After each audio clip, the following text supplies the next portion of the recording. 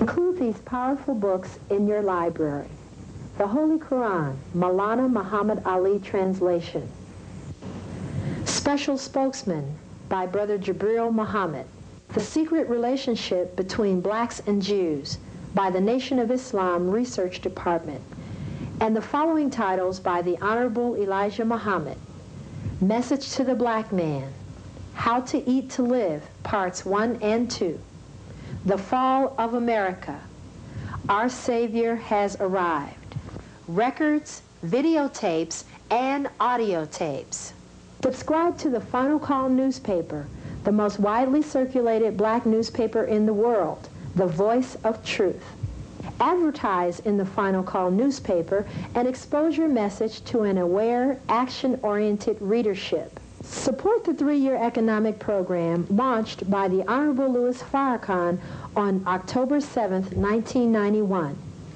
Designed to address the critical needs of the black community in the upcoming years, your monthly $10 contribution will help to establish farms and businesses that will meet the necessities of life and lay the foundation for our economic survival.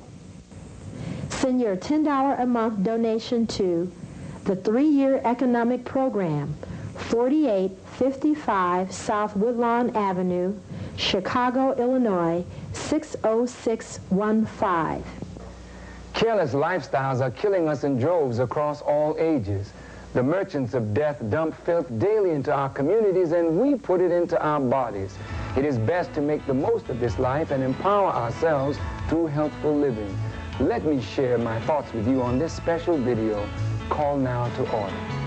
Get Farrakhan's program for better health and the story behind his bout with cancer. To order, call now. 312-602-1230. That's what I'm talking about. At last, the hottest book of the decade is now here. A Torchlight for America by Minister Louis Farrakhan is the long-awaited book that offers true guidance and solutions to problems facing America. Written in clear, direct language, A Torchlight for America is required reading for those seeking the truth. Order your copy of A Torchlight for America. Send $12 plus $4 shipping and handling, check or money order to Final Call Inc., 734 West 79th Street, Chicago, Illinois 60620, or call 312-602-1230.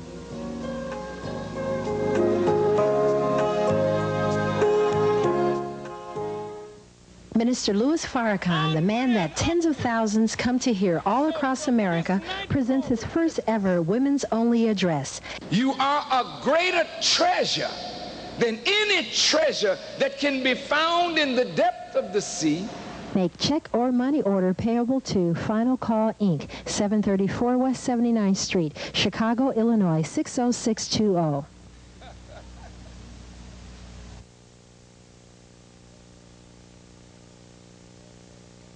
In the most holy name of Allah, the all-wise, true and living God who came to us in the person of Master Fard Muhammad, and in the name of his exalted Christ, the Honorable Elijah Muhammad, we can never thank Allah enough for blessing us with a bold, strong champion, our leader, teacher, and guide in our midst today, and representative of the Christ.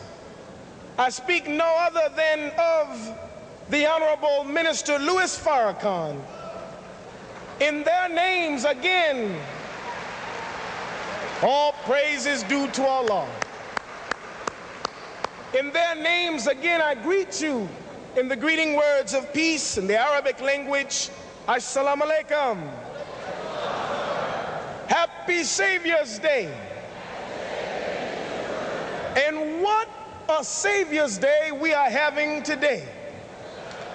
How do you feel? All praise is due to Allah.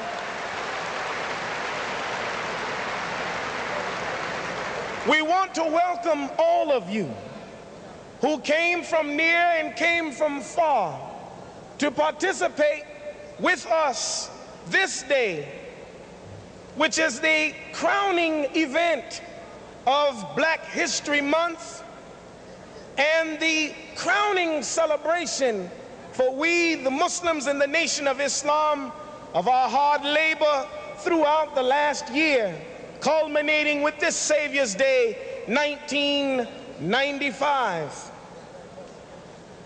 You know, the Honorable Elijah Muhammad said, he said, Who is it that is in need of being saved?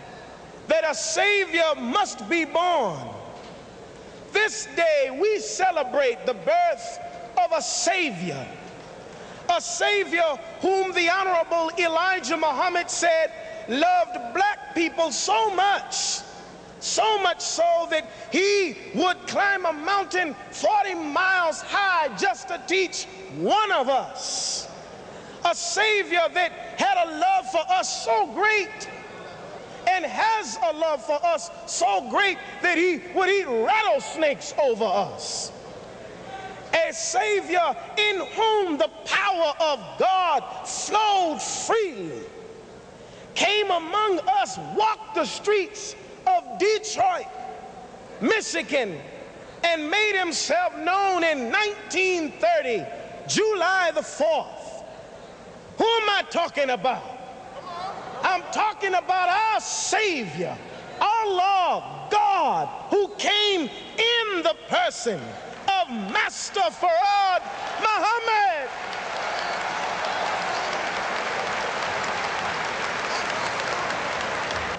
Moving right along, we want to hear from our first speaker, who is our national spokesman for the Honorable Minister Louis Farrakhan, and he's also our Minister of Health, a man who should be introduced by love because that is exactly what I have in my heart for my brother and any of you that know this brother and know his tireless efforts on our behalf, have nothing but sincere, profound love for him. I want you to open your ears, open your heart, and receive our brother, Minister Dr. Alim Muhammad. Will you please receive him? Wa alaikum salam. Go ahead, Savior.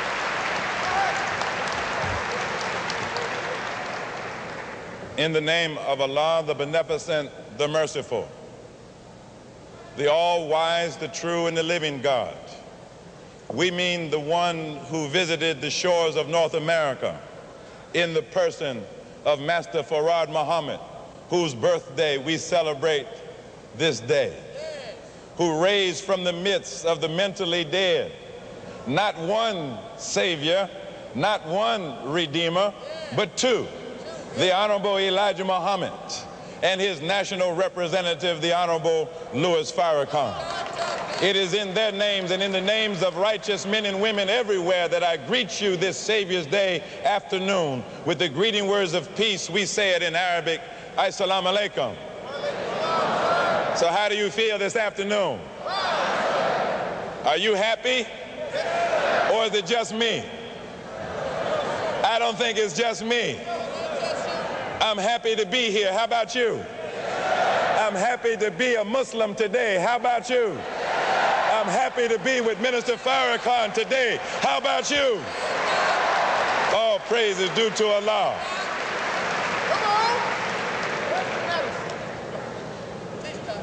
We're here to celebrate the birth of Master Fard Muhammad. Yes, sir. But the thing I like about this Savior's Day is it's actually a double birthday. Because not only are we celebrating the 118th birthday or birth year of Master Fard Muhammad, this is also the 40th year of spiritual life of the Honorable Louis Farrakhan. All praise is due to Allah. And just as it takes, just as it takes 40 or 41 weeks for a woman to take the seed of a man and gestate it in her womb to produce a new life, a new living human being. It takes 40 years to make a messenger of God.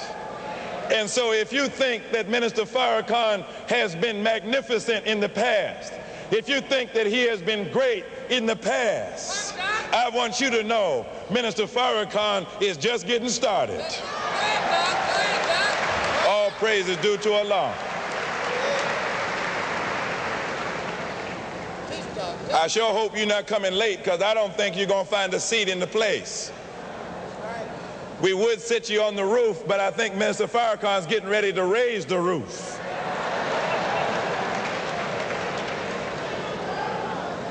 A nation must be concerned about its health. When we look at the history of Jesus, we see that he was a teacher who went into the temples and taught the people the wisdom of God.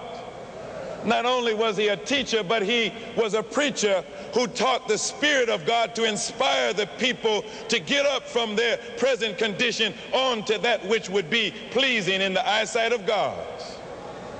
But sometimes before Jesus could teach, sometimes before he could preach, he had to heal. Because if a man or a woman is in physical suffering from whatever disease, if a man is in pain, you can't teach him. If a sister is in mental torment, you can't preach to her. If a man is hungry, if a man is lame, if a man is deaf and dumb and blind, he may not be able to understand your teaching until you heal him. And so in his wisdom, under the guidance of Allah, the Honorable Louis Farrakhan has created now for the Nation of Islam something that we call the Ministry of Health. And this ministry of health adds to the teaching and the preaching of the Nation of Islam. Can't nobody preach like the Muslims. Can't nobody teach like the Muslims. And in a few more days, I think the world will bear witness that nobody can heal the illnesses and the sicknesses and the diseases of the people like the Nation of Islam.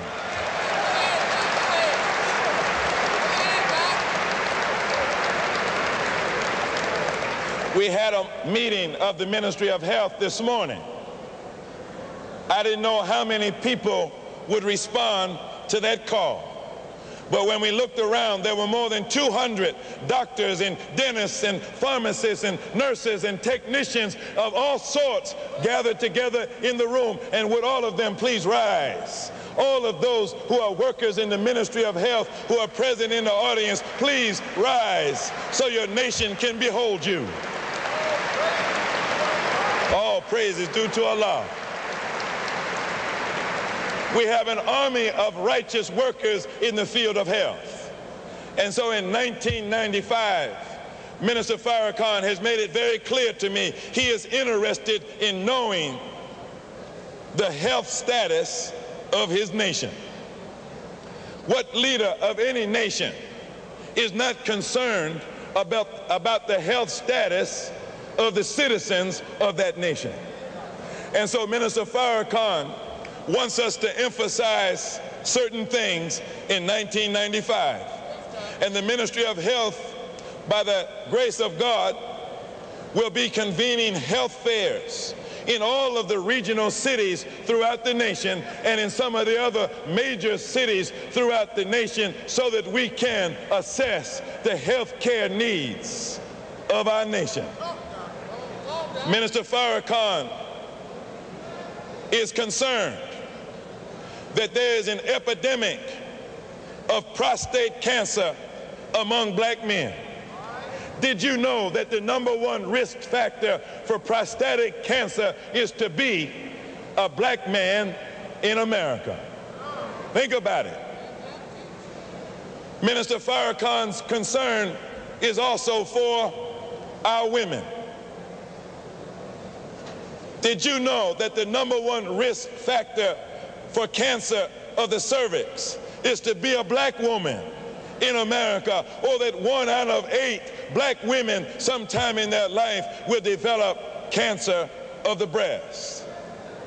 And so therefore, in 1995, by means of our health fairs in various cities, we wish that every brother and every sister would submit to these screening examinations to detect the presence of prostate cancer, breast cancer, and cervical cancer.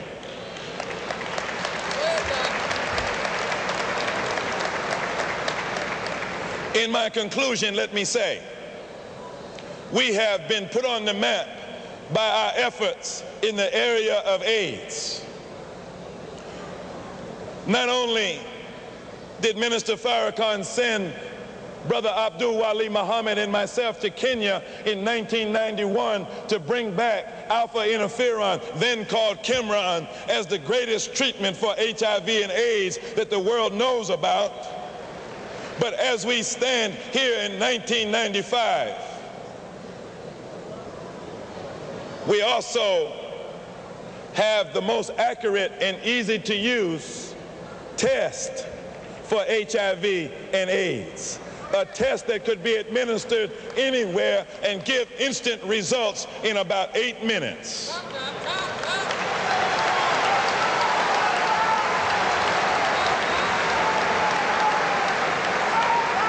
Oh, we got some scientists in the black nation. This was developed by a black man in California. And it is the most accurate AIDS test that is available. And we are going to use this. We are going to use this in the Nation of Islam. We are going to establish a policy in the Nation of Islam that every one of us should be tested for the presence of HIV. And why do we say that? Why is that a good policy? Because if you don't know your HIV status, then you don't know enough about AIDS. Because the tragedy of AIDS is that you only hurt the ones you love. You say, but I'm afraid to be tested because I might be positive. Well, if you are positive, I want you to know that the Nation of Islam has produced a biochemist that is now making for us our own alpha interferon. So we can test you we can test you, but we can also treat you. Because this is the nation of Islam. And we don't play. We are the best nation that is on the face of the earth. We might be small, but we are great. And we're gone all the way behind the Honorable Louis Farrakhan.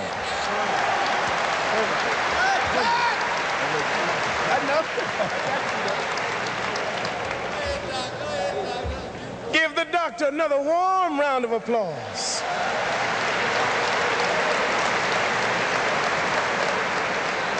Moving right along, respecting time on our program.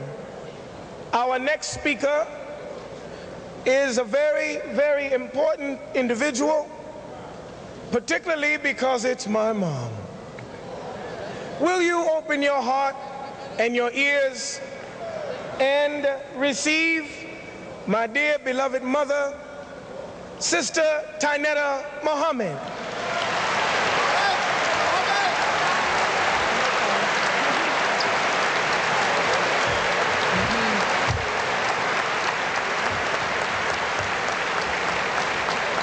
Assalamu alaikum. Is everyone happy? We should be. A Savior is born. Not only in the Master who came to set the foundation for our progress, but a Savior is born inside of each and every one of you. Thank you.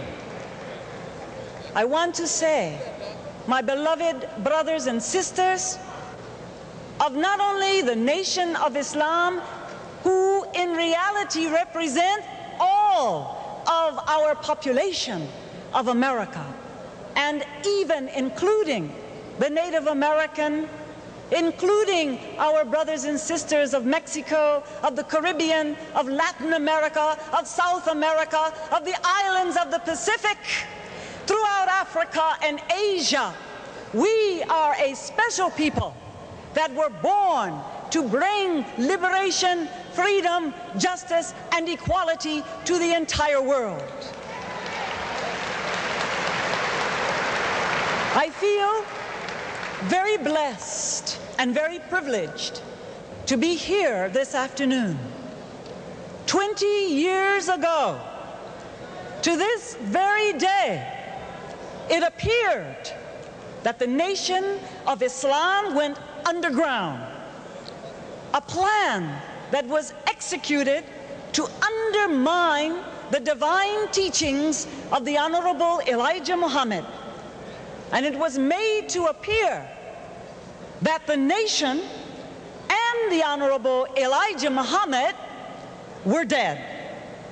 Now, 20 years later, in this very same amphitheater, where Savior's Day was celebrated in 1975, the Honorable Elijah Muhammad, Master Fard Muhammad, being backed by their servants, Minister Louis Farrakhan is making Savior's Day a reality for all of us once again. What are some of the lessons hmm, that we are to learn from this experience of the last 20 years? It is to learn that Almighty God Allah was in the beginning, is, and forever shall be. And no matter what evil plans are formed against us, that Almighty God Allah allows the enemy to challenge the righteous, to bring about their plan, and as we are taught by the great Master himself, to leave not a stone unturned in trying, even to trying to kill the apostle. All right. We have also learned from this experience that Almighty God Allah is working with His Spirit for the rise of black people in America and throughout the world.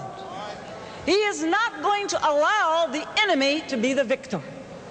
So as we begin 17, nearly 18 years ago, retracing our footsteps through the rise of Minister Louis Farrakhan, who stood up in 1977 and said, we will not let the nation of Islam stay dormant or sleeping forever.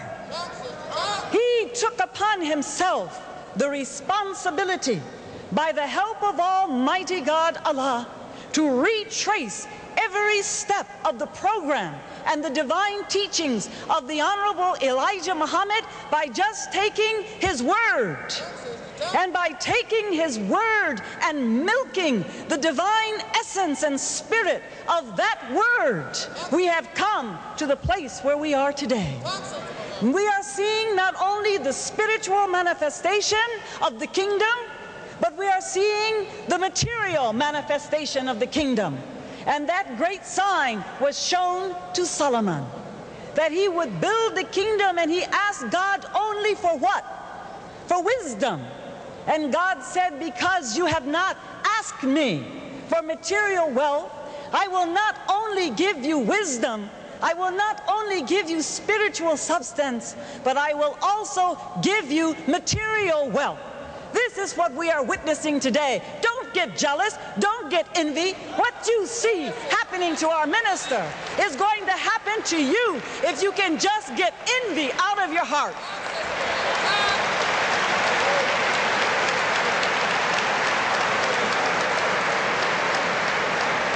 This is a blessed day, Muslims, believers, and I know that before we leave this afternoon, we are going to be blessed to hear one of the most powerful messages ever delivered by a black man in the hells of North America or any place on this planet Earth or in the galaxy.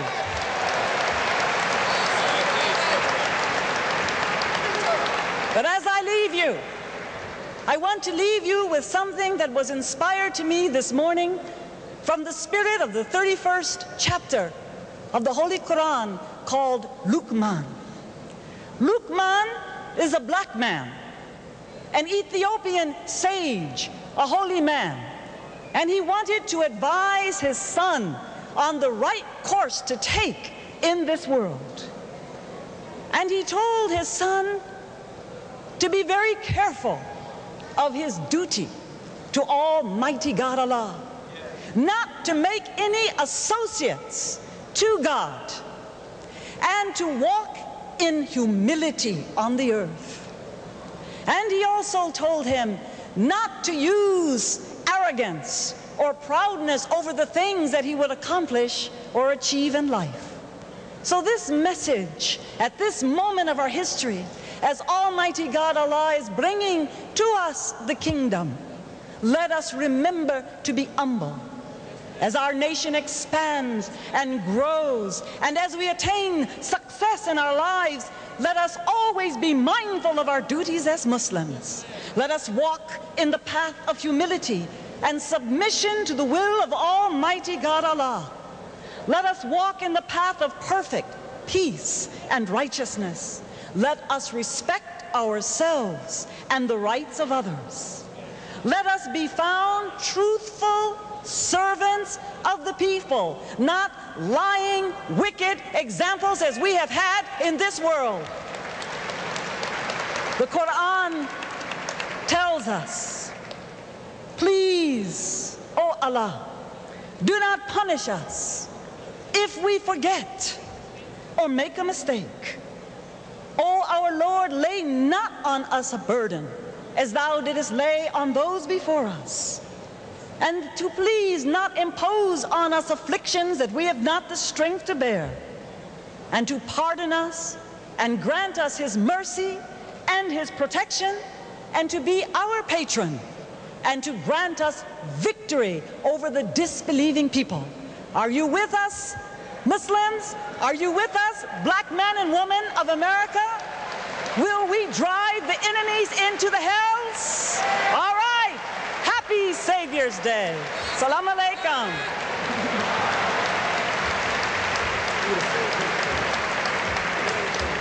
Give her another warm round of applause. Sister Tynetta Muhammad.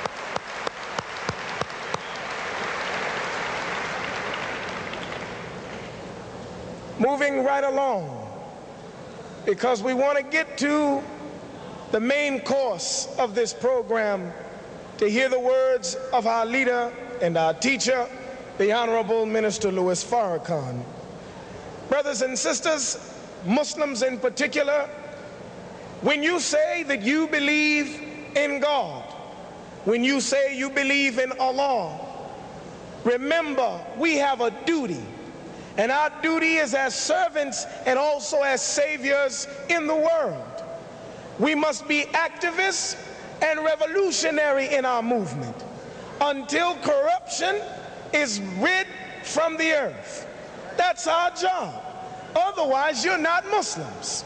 Muslim is one who submits his will to do the will of Almighty God Allah.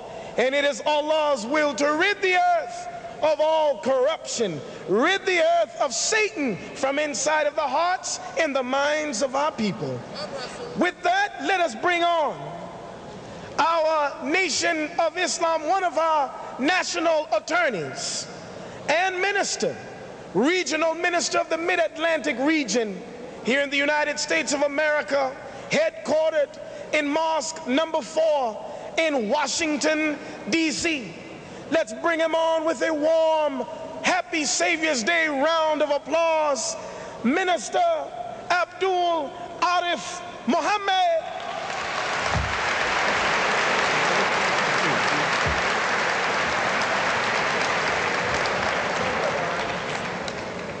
In the name of Allah the Beneficent, the Merciful, who came in the person of Master Fard Muhammad, we forever thank him for his coming and raising in our midst a divine leader, teacher, and guide, the exalted Christ, the most honorable Elijah Muhammad. And we can never thank them enough for our divine reminder and comforter today, who is making out of us a great and mighty nation, the Honorable Minister Louis Farrakhan.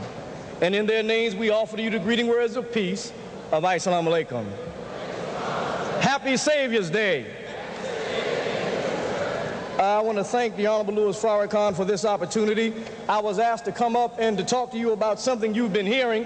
If you can see a lapel, that button that I'm wearing that says, I'm one in a million, we know what that's referring to, the Million Man March in October of 1995. The enemy is already doing all he can do to stop us. For he understands the significance of this march.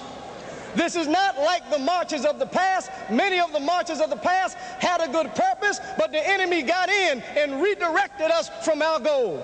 But under the leadership of the Honorable Louis Farrakhan, in conjunction with the wise council of organizations today who see what happened years ago in unity with us, we're going to march on Washington in October of 1995 like never before and let America know that the black man time has come.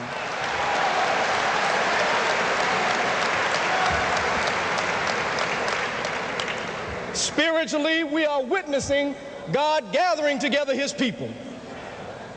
Don't be fooled by what they say. God's hand now has moved across the face of the waters. And you have a man in the Honorable Louis Farrakhan who's loved in every sector and every section of America in our communities. He's a man loved in the church. He's a man loved by the nationalist community. He's a man loved by every organization who sees him as a man of integrity, a man of sincerity, a man who loves God and wants to bring together the unity of black people as never before. And your presence here today signifies that. So give yourselves again a warm round of applause.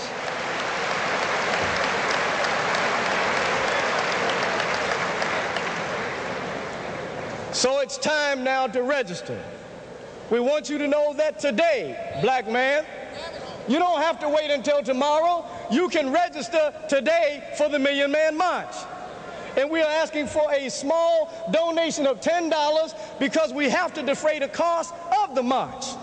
But we want to let you know what you will get beautiful commemorative packages for your donation of $10. What you will get is a beautiful tape, cassette tape of the Honorable Louis Farrakhan that addresses excerpts of why the Million Man March must come into reality.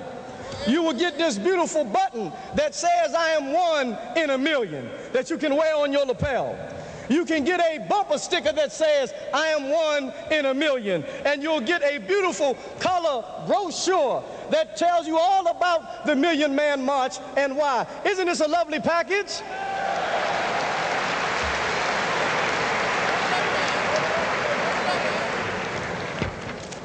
It's so lovely, isn't it?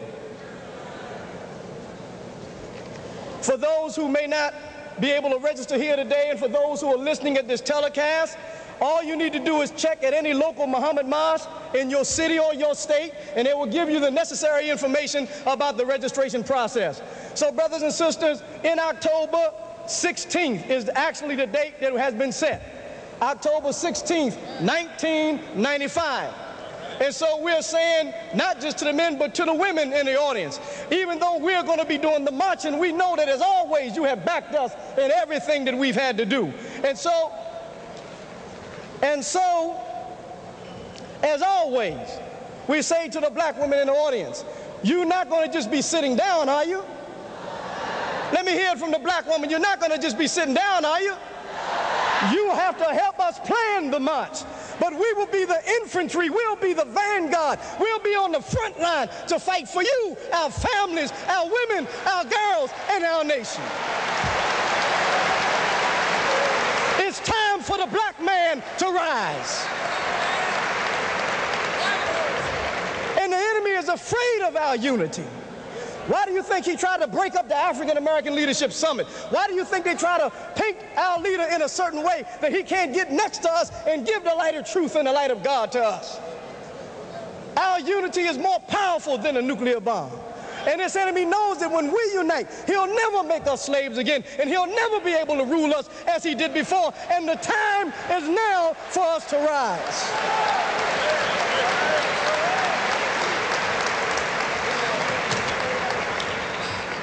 So I'll say to you in conclusion God's hand is upon us all, and He's moving across the face of the waters. and we are that great water. So I simply say to us on behalf of the Honorable Louis Farrakhan, let us from this day forward get busy. Let us register, register, register. The enemy is already trying to take polls saying that there's not a great support for this march. Well, we will show you how much support that it is from the march, and we want you to let the enemy know right now how strongly you support the march. Let every black man who stands for this cause stand up now in the audience. Every black man, let them see that the black man is ready to stand for his own. I thank you. Assalamu alaikum.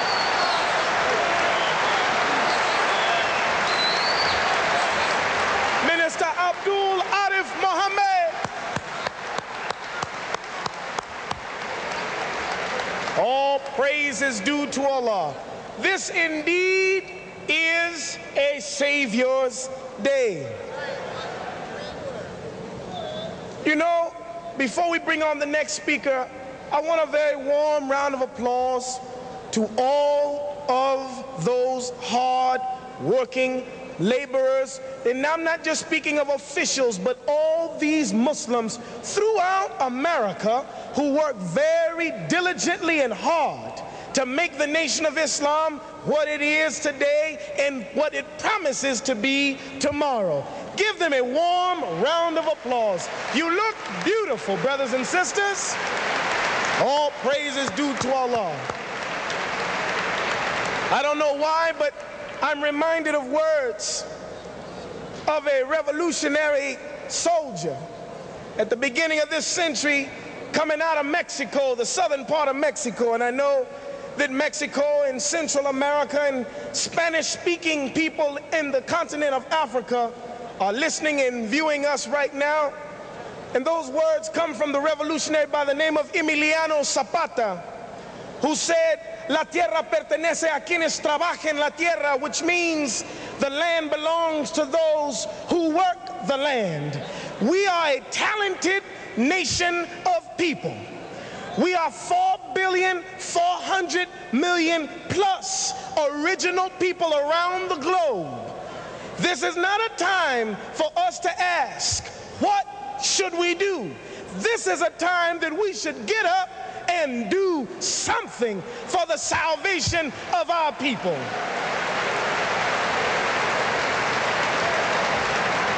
Moving right along, we've got some more fire for you. And this fire is coming out of one of our brothers and fellow ministers who is the Southern Regional Minister, headquartered in Atlanta, Georgia, Muhammad's Mosque, number 15. Look at you. You know who I'm talking about. And of course, you know about the farm we have down in Atlanta, Georgia. More information in just a moment. That was a appetizer. I'm talking about that powerful, young, fiery minister who loves in a powerful love of God, Allah, who came in the person of Master Fard Muhammad, whose birth date we celebrate today, who loves the Honorable Elijah Muhammad, who loves the Honorable Minister Louis Farrakhan, whose 40th anniversary in the Nation of Islam we celebrate today. I speak of, and you receive him with a strong welcome. Our minister and brother, Abdul Jamil. Muhammad, bring him on.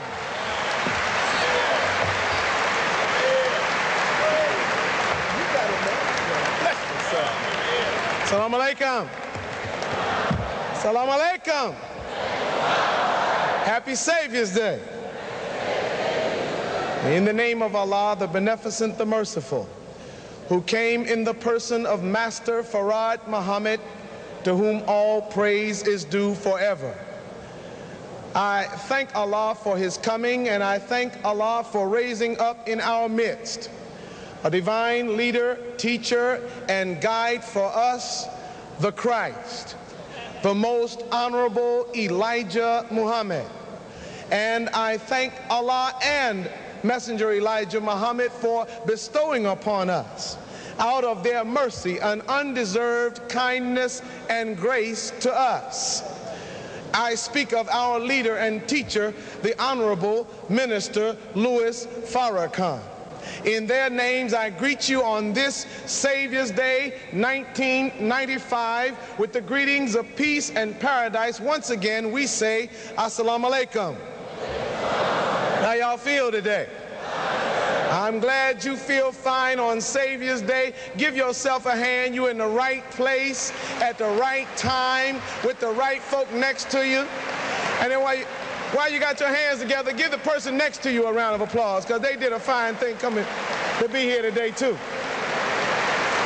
We've been joined by our First Lady, the wife of our leader and teacher, Minister Farrakhan's beloved wife of over 40 years, the First Lady of the Nation of Islam, the Queen of the Muslims in the wilderness of North America. Here she is, Sister Khadija Farrakhan. We welcome her. Take a bow on the other side. You gotta take a bow on the other side. On this side, they, they love you over here too. Do y'all love her on this side too? Brothers and sisters. That's the wife of our leader and teacher, and she, he has said, is one of the wind beneath his wings. Oh, it's Savior's Day, brothers and sisters. Savior's Day 1995. Brothers and sisters, it is my pleasure to introduce to you the Assistant Minister of Mosque Maryam here in Chicago, Illinois, our headquarters of the Nation of Islam, and he is also the Central Midwestern Regional Minister. My brother, son of the Honorable Elijah Muhammad, Minister Ishmael Rahman Muhammad. Will you please bring him on? Love you, boy. Love you too.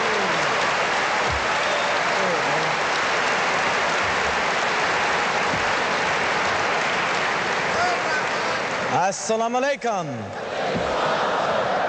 In the name of Allah, the Beneficent, the Most Merciful, the one God to whom all praise is due, the Lord of all the worlds, the revealer of all truth, the sender of all prophets. We thank him for Moses, we thank him for Jesus, we thank him for Muhammad. We thank Allah for all of his prophets and messengers and servants to humanity that they might be redeemed and restored and brought back on the straight path of correctness and righteousness. But as a black man in America, I cannot thank Allah enough for his intervention in our affairs in the person of Master Fard Muhammad and raising up for us a divine leader, a divine teacher, and a divine guide in the personage of the most honorable Elijah Muhammad.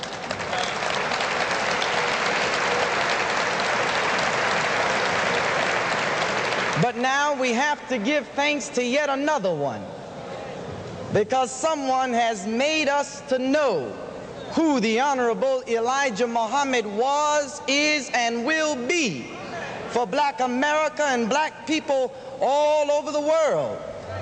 You know who I'm talking about. That bold, courageous leader, the Honorable Minister Louis Farrakhan. I greet all of you, my dear brothers and sisters, with the greeting words of peace of Assalamu alaikum. And maybe you thought that was a long salutation. I have, brothers and sisters, the distinct honor and privilege of presenting to you, introducing to you, and giving way to the Honorable Minister Louis Farrakhan.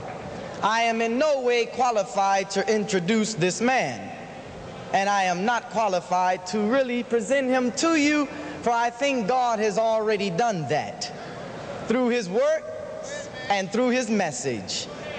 But I would like, as we introduce and prepare to hear from him, for us to look at the value of such a leader today that we will not repeat the mistakes of yesterday, that we might heed to the word and heed to that which Farrakhan is calling us to, that we might be saved as a people.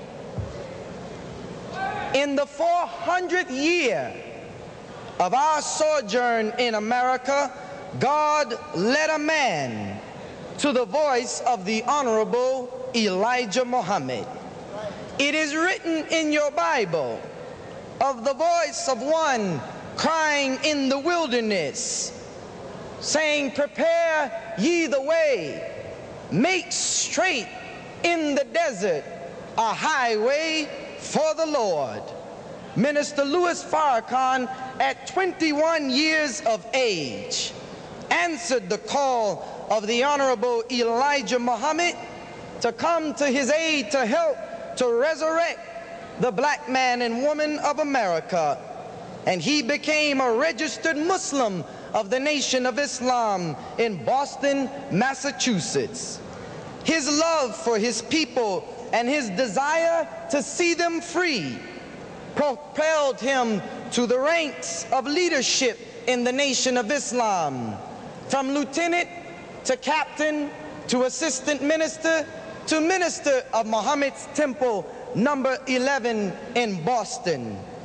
After the death of Malcolm X, Minister Farrakhan became the minister of Muhammad's temple number 7 in New York City and the national representative of the Honorable Elijah Muhammad. His unique ability to articulate the word of the Honorable Elijah Muhammad drew many to the ranks of Islam. And it is written, if I be lifted up, I will draw all men unto me.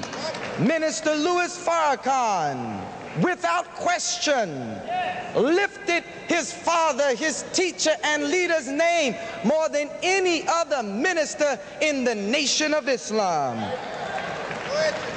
After the apparently sudden departure of the Honorable Elijah Muhammad in 1975, 20 years ago this day, expected by a few and unexpected by the masses.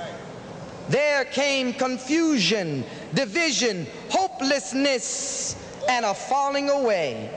For three years, the Honorable Elijah Muhammad's name was mocked, ridiculed, and maligned. His work was dismantled. And the enemies of the Nation of Islam, which are the enemies of black people, did not want to see the Honorable Elijah Muhammad's name and work remembered and carried on. For they knew the value as they know today, the value of the teachings of the Honorable Elijah Muhammad. During this period, Minister Farrakhan was to remain silent and he was deeply grieved over the death of the Nation of Islam. In 1977, Minister Louis Farrakhan decided to stand up and lift his leader and teacher's name and work and back work to build the nation back up again for the redemption of his suffering people. Many said it was impractical. Many said it was improbable. Many said it was absolutely impossible. Why? Because no other organization had ever, listen good, no organization has ever, after its destruction, been able to regain its former glory.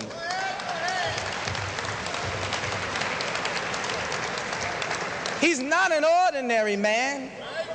He's an extraordinary man. Minister Farrakhan would begin in 1978 to speak in various cities and universities across this United States, traveling by car into small towns throughout the South, traveling to the North, traveling to the South, to the East, and to the West, spreading the word and dropping the vision of the Honorable Elijah Muhammad back into the minds of our people. He went on to establish study groups. We call them little cells in the various cities across America. One study group didn't know that just down the block was another one different cells were being established and no one knew each other until he brought everybody together to celebrate our first Savior's Day in 1981. In 1978, Minister Farrakhan published the first edition of the Final Call newspaper. It was entitled The Ultimate Challenge the survival of the black nation. Of course, through your efforts, the believers, supporters, and sympathizers of the Nation of Islam, we have built a multi-million dollar magnificent fabulous salam restaurant and bakery complex on 79th near Halsted. We have been blessed to purchase tractor trailer trucks that will be taking our products with the Final Call newspaper and other products to the various cities and outlets throughout the nation. We have purchased three and we plan on purchasing 10 this year, but the goal is to have a fleet of 100 tractor trailer trucks for the nation of Islam. It's very important, Islam. We have retrieved the property of the National Center, Mosque Maryam, which is the national headquarters for the Nation of Islam, the University of Islam to educate our children, and with your efforts and contributions to the three-year economic program.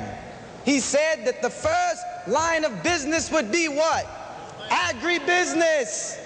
And we can't be a free people and be independent unless we have some of this earth that we can call our own. So Farrakhan took your nickels and your dimes and your dollars and we went back to the farmland that was owned by the Nation of Islam in the state of Georgia. And we went and purchased 1,600 acres of farmland. And all praises due to Allah and we plan on purchasing 10,000 more acres by year's end. And the goal is 1 million acres of farmland so that we might feed our people. This is just some of the few things that Minister Louis Farrakhan is leading us to. He's a wonderful leader, and God has blessed him to work his will by restoring, rebuilding, and resurrecting a fallen people. He has worked the vision of the Honorable Elijah Muhammad as a true son of that great man. You and I are alive today, conscious today, as a result of the work of the Honorable Minister Louis Farrakhan. Can you deny that, Black America? Let me show you what you have said. Just in the last year, 1994, Time magazine conducted a poll. And they asked those that were polled, how many believe that Farrakhan is teaching and telling the truth? 62% said Farrakhan is telling the truth. 63% said that Farrakhan is an effective leader. When black people were polled in Detroit, 85% said he was the best qualified leader to lead our people towards their freedom and their justice. All over the country, There is no question and no doubt he has emerged as the premier leader of black America. Are you ready to receive that son of the Honorable Elijah Muhammad, our leader, our teacher, our big brother, the Honorable Minister Louis Farrakhan?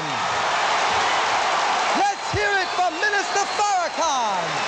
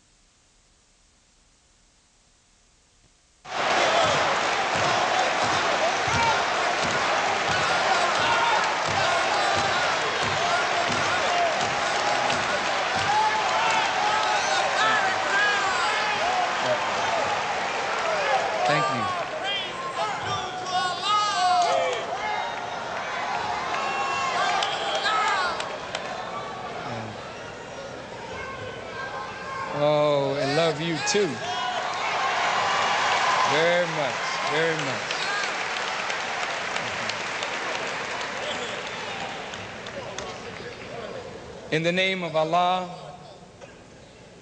who came in the person of Master Fard Muhammad, to whom praise is due forever, the great Mahdi. And in the name of his servant, our beloved leader, teacher, and guide, his Messiah to us, the most honorable Elijah Muhammad. I greet all of you, my dear and wonderful brothers and sisters who are here at the International Amphitheater in Chicago and those who are watching by satellite in the various cities of America and the various colleges and universities and those who are watching by satellite throughout the world. I am so happy to greet all of you with the greeting words of peace. Assalamu alaikum. Well, so much has already been said, I think it's time for us to just get busy.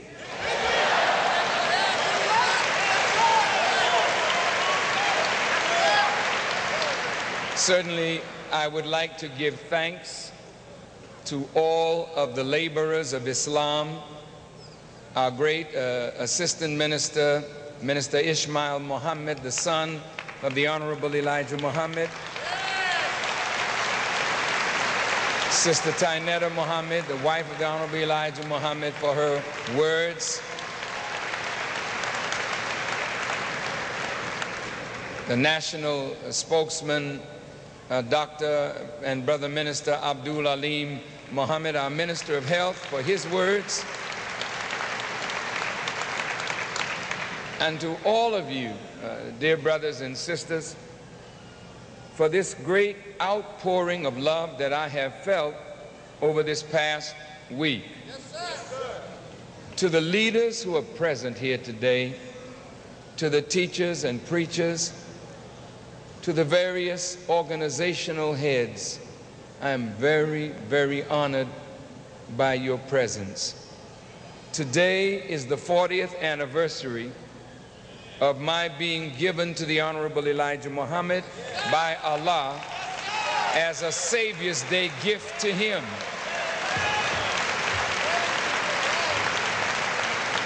To help him in his great mission of giving life to 40 or more million of our people in the United States and hundreds of millions of our people and others throughout the world.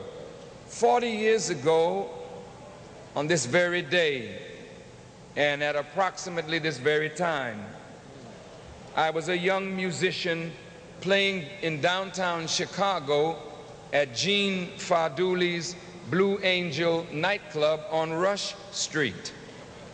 I was the featured performer in a show called Calypso Follies. I was known then as the charmer because the songs that I sang and the spirit in which I sang them were considered charming to those who heard my songs and felt my personality, and therefore the name Charmer stuck. However, as I entered Muhammad's Mosque number two, which was then at 5335 South Greenwood Avenue on February the 26th, I wondered what I would see and what I would hear. I was fascinated by the search procedure and somewhat frightened that they separated my wife and my first child from me. And of course, my wife is seated here with me today, and my first daughter, Bessie Jean, who went with me to the mosque that time. And while my wife was seated on the main floor, I was in the balcony where I had a direct view of the Honorable Elijah Muhammad. And I later learned that he had me seated in that particular place so that he and also others could have a direct view of me and how I was responding to the teachings of the Honorable Elijah Muhammad. Well, being a student of English and having studied Latin for many, many years in grammar school and high school, I was somewhat taken aback by the Honorable Elijah Muhammad's splitting of verbs and what I termed misuse of the language. But the moment that I thought this concerning his speech, he looked up at me directly and said these words Brother, I didn't have a chance to get that mighty fine education that you received. When I got to the school, the door was closing. He said, Don't you pay no attention to how I'm saying it. You pay attention to what I'm saying. Then you take it and put it in that fine language that you know only try to understand what I'm saying. I was shocked because it appeared that the Honorable Elijah Muhammad was reading my thoughts. But little did I know 40 years ago at this very time, on this very day, when he spoke those very words, that he was giving me my assignment and foretelling my future. My wife and I accepted the teachings of the Honorable Elijah Muhammad on that day. And from that day to this, I have dedicated my life to the rise of our people under the guidance of Master Fard Muhammad, the great Mahdi, to whom praise is due forever, and his servant, the Honorable Elijah Muhammad, our great leader, teacher, and guide.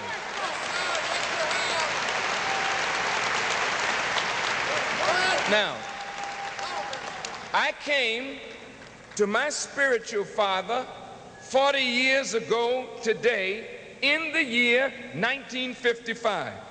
In that same year, 1955, our sojourn in America as servitude slaves and free slaves was officially ended according to the prophet's predictions, wherein in the book of Genesis, God said to Abraham, Know of a surety that your seed will be a stranger in a land that is not theirs. And they shall serve them, and they shall afflict them 400 years.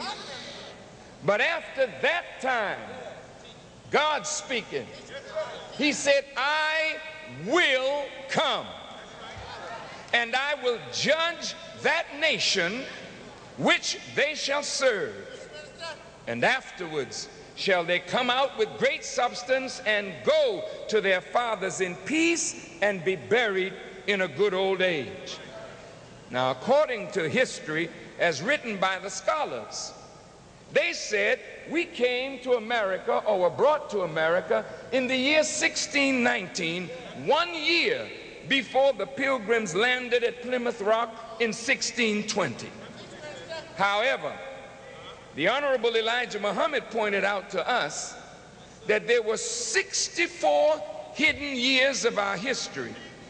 A history that was so terrible, so wicked, so diabolical in its practice that we were transformed from a people of tremendous quality, skill, wisdom, and righteous bearing into a people that could be typed as subhuman.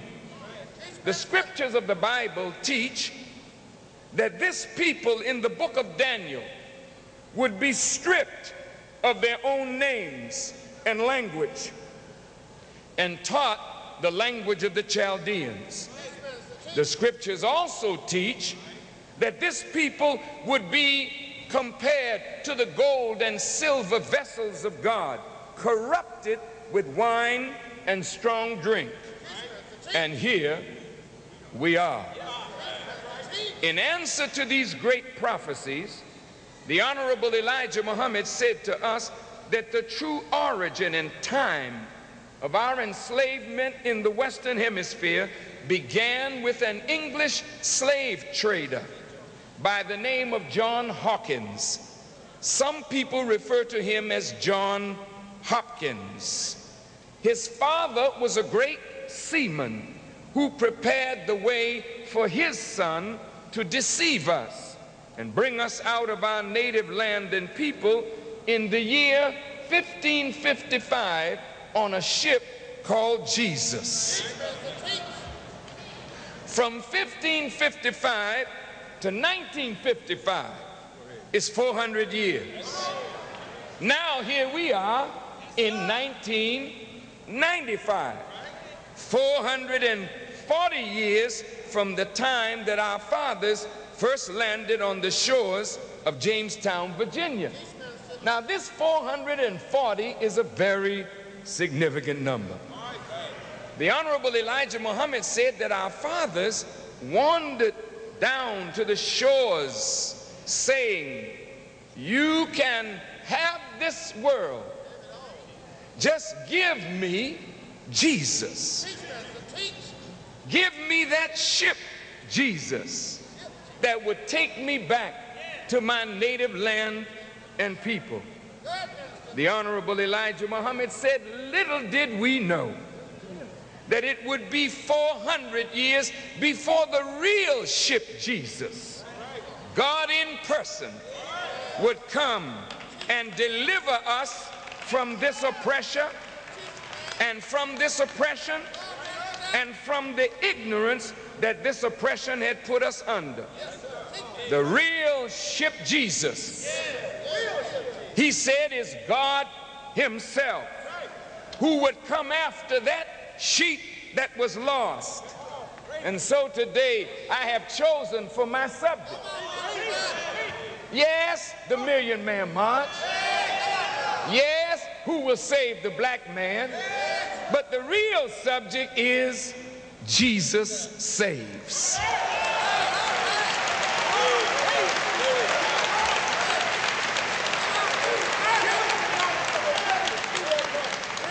Now, the Honorable Elijah Muhammad worked among us for 40 years. It is historic as well as ironic that we are here celebrating Savior's Day 20 years after we were in this very place. We have not been here to deliver a Savior's Day message in 20 years. 20 years ago, this very day, at this very hour, the poor followers of the Honorable Elijah Muhammad accepted the news that was given that Elijah Muhammad, our leader, teacher, and guide, was dead. 20 years ago, on this very stage, the followers of the Honorable Elijah Muhammad hoisted on their shoulders the son of the Honorable Elijah Muhammad, now known as Imam Warith Deen Muhammad, as the successor to the Honorable Elijah Muhammad.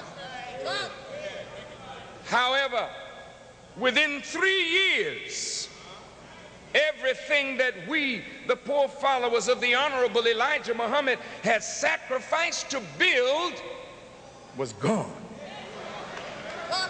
20 years later, in 1995, we stand in this very place to say to the world that God has blessed us to restore his name, to restore his word, to restore his people, and to restore our souls.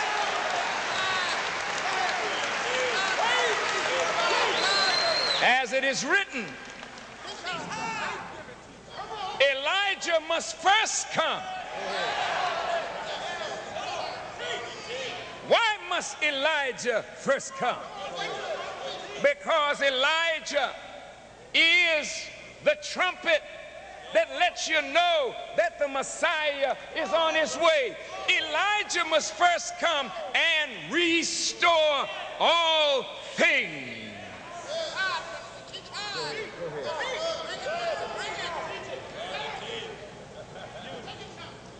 I am in that spirit of Elijah to restore unto you the things that have been taken from you in this last 20 years.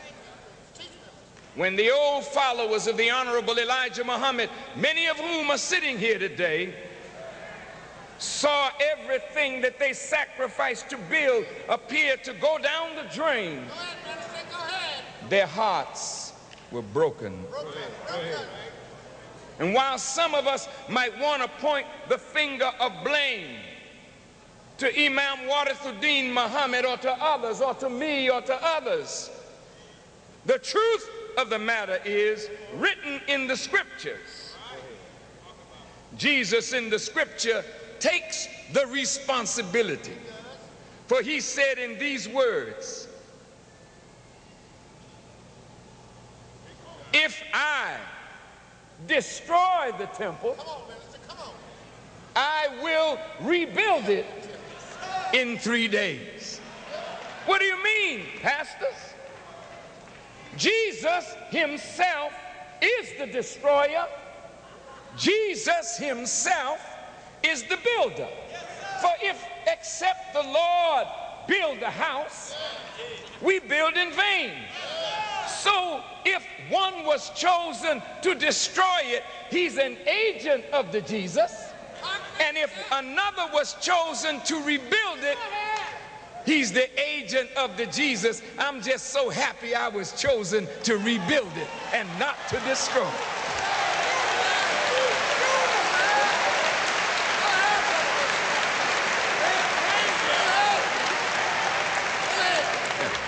So today, we want to know who is this Jesus who can save? 440 years. What is the meaning of such a number? The Honorable Elijah Muhammad worked 40 years absent from his teacher or away from his teacher, Master Fard Muhammad. And it took another four years in preparation for the work that he would do in the absence of his teacher. So we have 44 years of the Honorable Elijah Muhammad's presence among us, then he departs. Now we're at 440 years of our sojourn. In music, the concert A that every instrument tunes up by in the orchestra is 440 vibrations per second. So if we say that 440 vibrations equals A, and A is the first letter of the alphabet, so A equals 1, and 1 is the first number of the language of mathematics. Mm-hmm. Then what are we to learn today from this 440 years, from this A, the concert A, that everybody has got to tune up by? What are we to learn from that concert A? That is number one, the first note or the first number of the language of mathematics. Here's what we are to learn.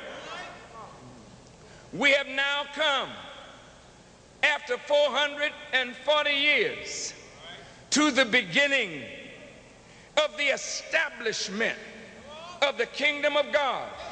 It is not that we are to preach the kingdom. We now have the power to establish that kingdom on earth if we will rise up and take that responsibility.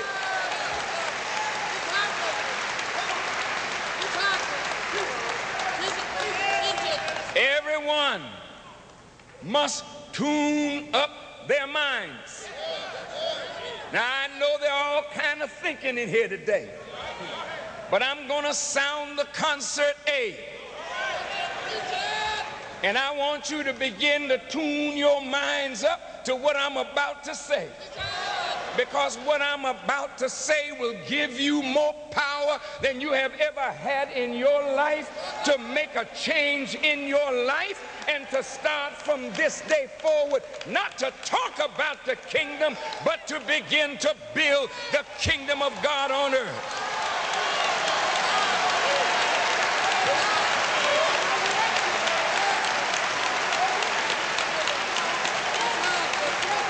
All praise is due to Allah.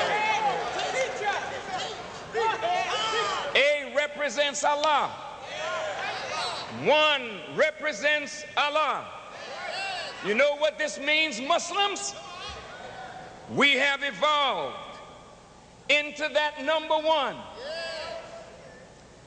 which means that we, the Muslims, can now demonstrate the power of Allah more fully than we have ever demonstrated his power in the history of our sojourn in America. What do I mean by that? The Honorable Elijah Muhammad taught us how Allah created himself. And he had to build himself up into the darkness. And 10,000 parts made the one. Jesus comes at the end of the world at the head of 10,000. I'm saying to you, Muslims, look at yourself today.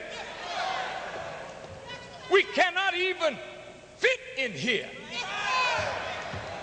The 10,000 is here.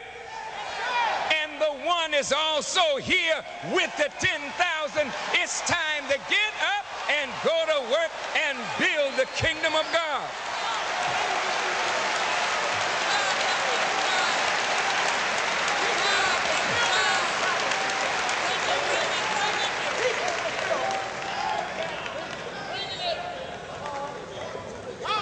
Now, if we don't tune up, listen, listen, listen. If we don't tune up our actions, tune up our thoughts, tune up our program on the basis of God, then everything that we plan and everything that we are attempting will fail. Except the Lord build the house, we build in vain. Who is the Lord? That is to build the house. And who are the builders that will build according to the will of the Lord, who wants to build his kingdom in the midst of the decayed kingdoms of this world? This is why we have called this Savior's Day. Our day with the Lord is as a thousand years. We're not just celebrating the birth of a great man on this day, but the man's birth, whom we celebrate, brings in with his birth the millennium, a thousand years in which the old world and all its ways will be done away with, swept out, and the new will be established.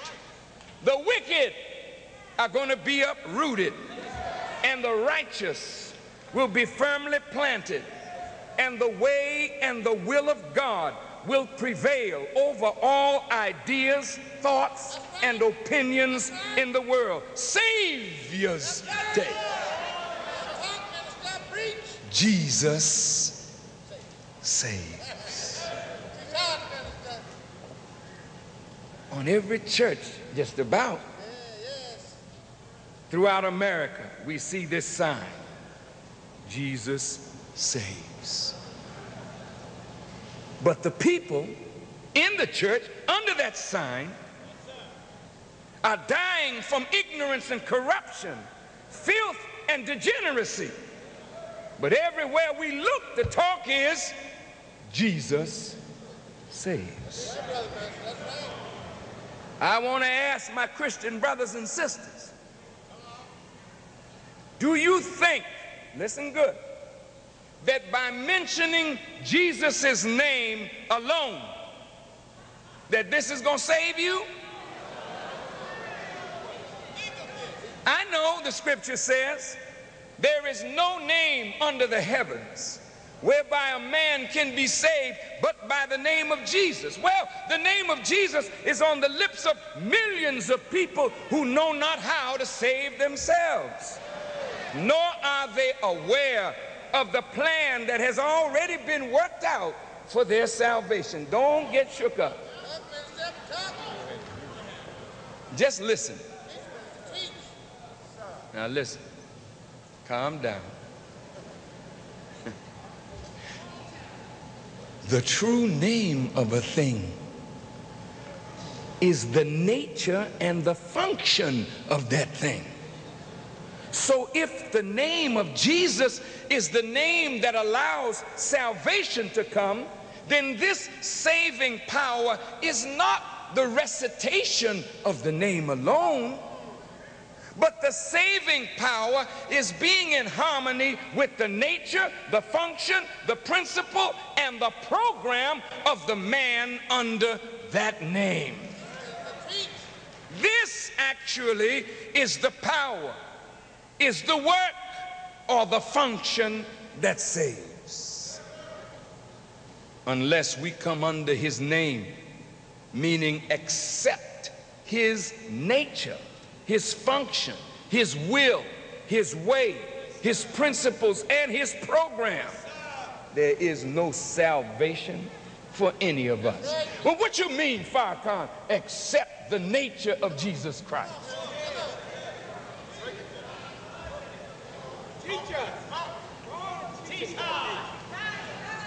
The thing that sets Jesus apart and makes him stand above all the prophets is the perfect obedience in Jesus to the will of God.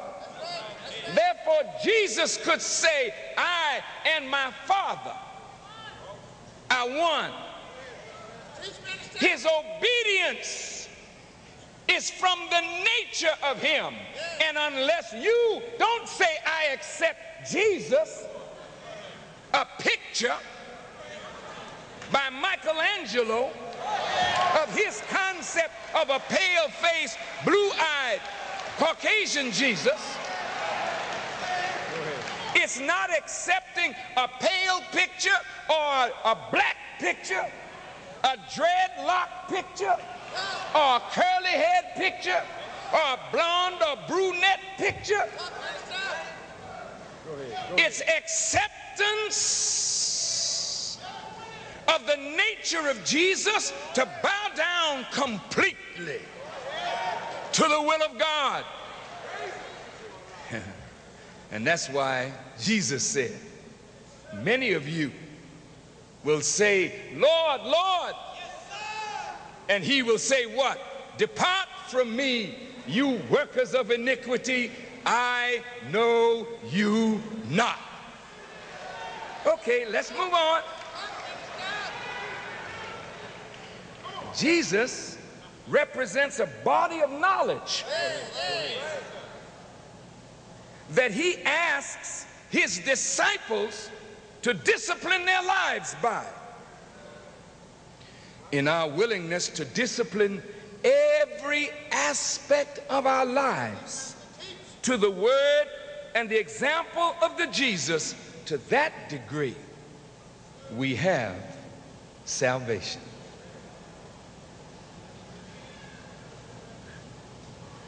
Man, that makes it kind of difficult, doesn't it? A lot of us in church, you know what I mean? Playing church. A lot of us in the mosque. playing mosque. A lot of us in the synagogue. Playing synagogue. All in the name of righteous men. Jesus, Moses, Muhammad. Let's stop this foolishness. Unless we are willing to discipline our lives to every aspect of that body of knowledge brought by the prophet, to that degree and that degree alone, we have salvation. Now, there's a scripture in the Bible that indicates that each of us has the responsibility to work out our own salvation. Well, if we can work it out, why is there a need for a Savior? Good, question. You got a song? He will work it out. No, he ain't gonna work it out. He has worked it out. The question is, are you willing to work it out with him? According to the plan that he's laid out to help us work it out. The Savior comes to give us the means, the method, or the way by which we can be saved. So a man stands up and says, I am the way, the truth, and the life. He's telling you, watch the way I walk, watch the way I live my life, watch the word I speak. Go ahead, go ahead. And then take me as the way. Follow me. Don't talk about me. Follow me. Jesus haven't told none of you to worship him. He said, follow him. And that's your problem. You say you're worshiping him, but ain't hardly too many of you following Jesus.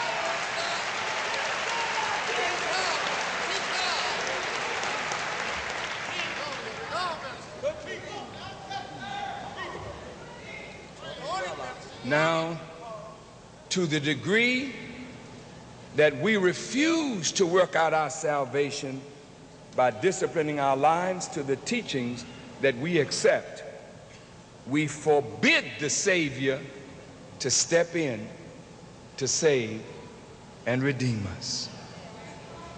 But what is the meaning of salvation? What do you mean saved? Do you who are listening here and who are listening by satellite, wouldn't you want to be saved if you were in a burning building and you saw fire all around you? Wouldn't you welcome somebody who offered you a way out of the building? I think you would. If you were drowning, somebody threw you a lifeline, what you gonna say? You the wrong color, I ain't accepting it? See, when it comes to saving your life, you ain't worried about color. Anti-Semite is not going to tell a Jewish person you can't save me. the anti-black person is not going to say, oh, you, you too black, you can't save me. Once you see your life is threatened, you don't care what the color is, what the race is, what the sex is. For God's sake, get me out of here.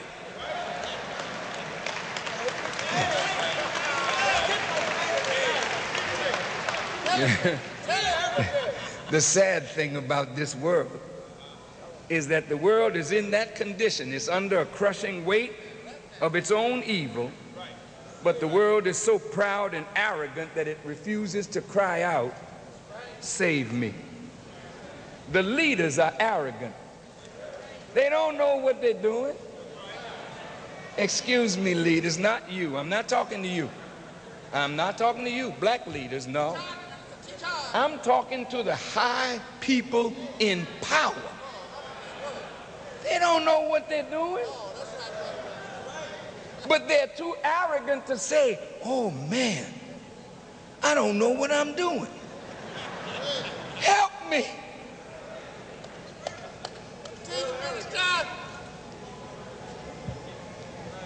But the poor, the weak, the dispossessed, those of us who live in the ghettos of America, and the ghettos of the world, we know that we're in a terrible condition. Our communities are in total disrepair. We know that we are in need of salvation. The question is, who will save us? And by what means shall we be saved? And this is why I've chosen this subject. Not just who will save the black man and why or the million man march, but Jesus saves. But I want to bring you face to face with the Jesus who saves.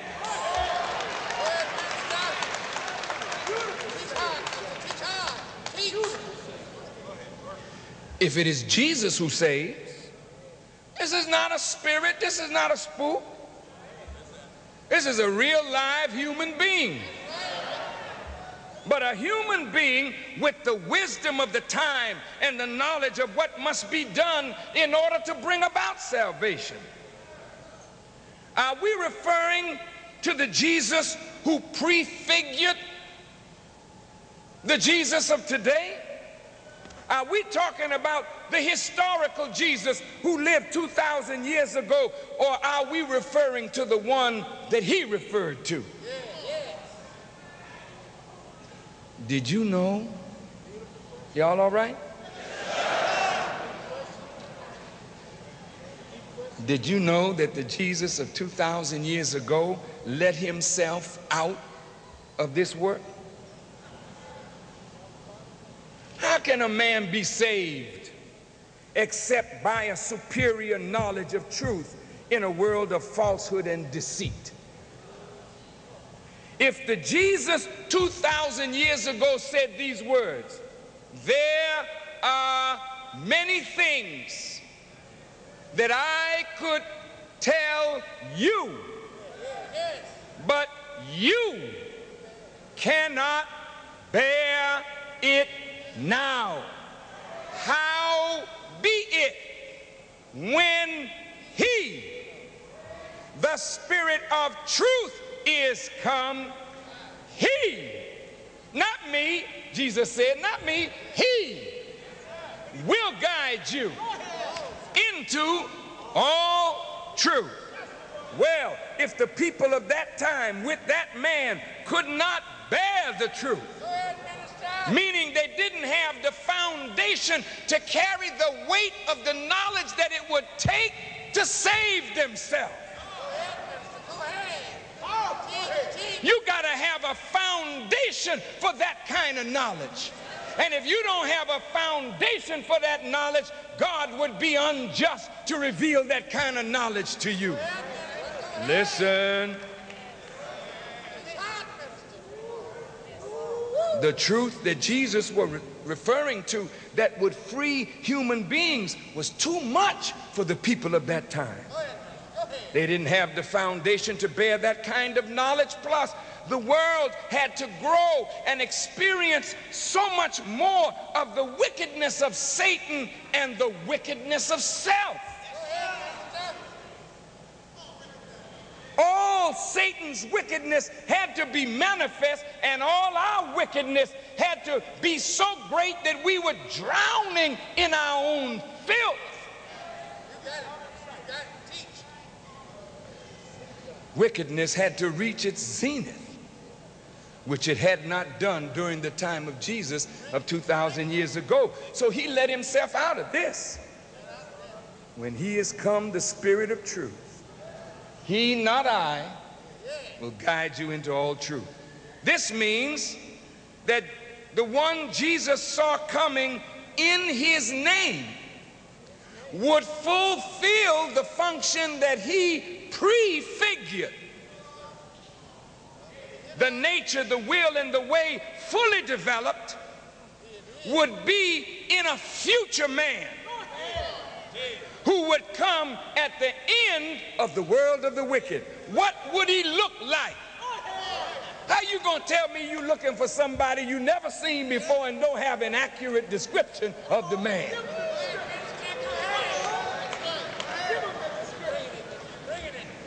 The scripture describes him. He's not Caucasian. No offense, no offense. No racism. The way the book describes him, he's definitely not Caucasian. The way the book describes him, he's not Asian as we know Asians. He's a man of dark color. He's a man of woolly hair. According to the book, he's a black man. Oh, wait a minute, wait a minute, wait a minute. Well, I know some of us just lost salvation just like that. We don't want it. If he's black, he can't save me. Black man can't do nothing for me but show me which way the white man went.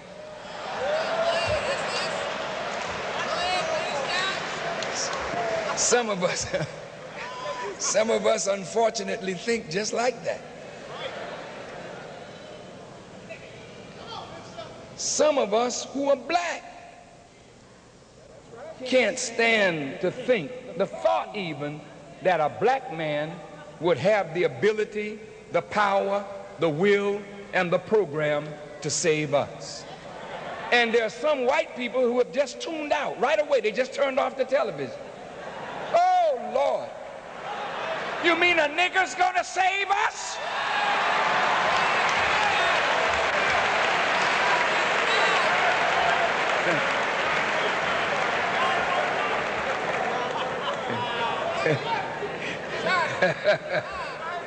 well, if you think like that, you just messed up.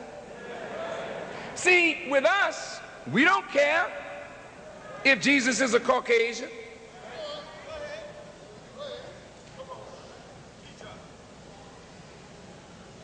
If he were Caucasian, I wouldn't have a problem following him. I just wouldn't have that problem. I don't think you would either, would you? Not if you're a bigger person than I think, that I think you are. You are able to look beyond color. You've been following white your life. So you wouldn't have no problem following Jesus if he was white.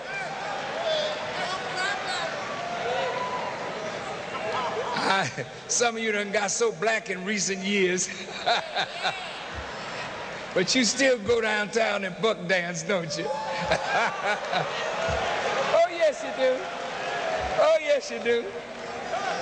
Oh, bunch of buck dancing brothers and sisters in the name of blackness. I am a black buck dancer.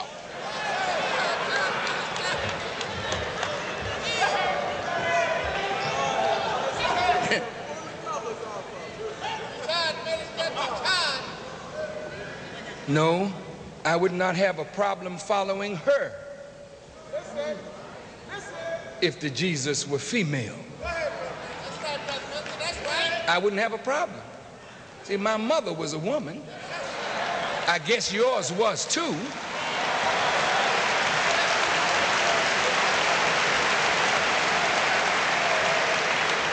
And my mom taught me very well.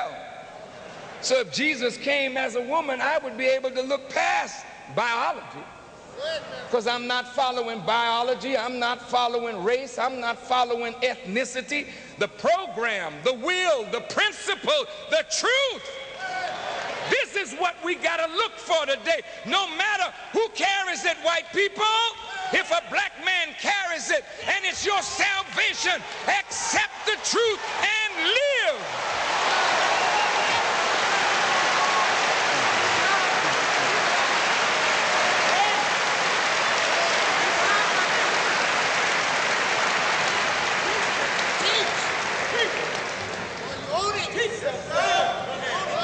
However, since the world has crushed the black man, and he is the most crushed of all the people of color on the earth, then it seems to me that when you're looking for a Jesus who will deliver, save, reform, reconcile, and redeem, you would not think to look for this one coming from a people who have been rejected and despised. Nevertheless, the scripture says he would come to and from a people despised and rejected. He would be a stone that all the builders rejected, yet he would be the headstone of the corner.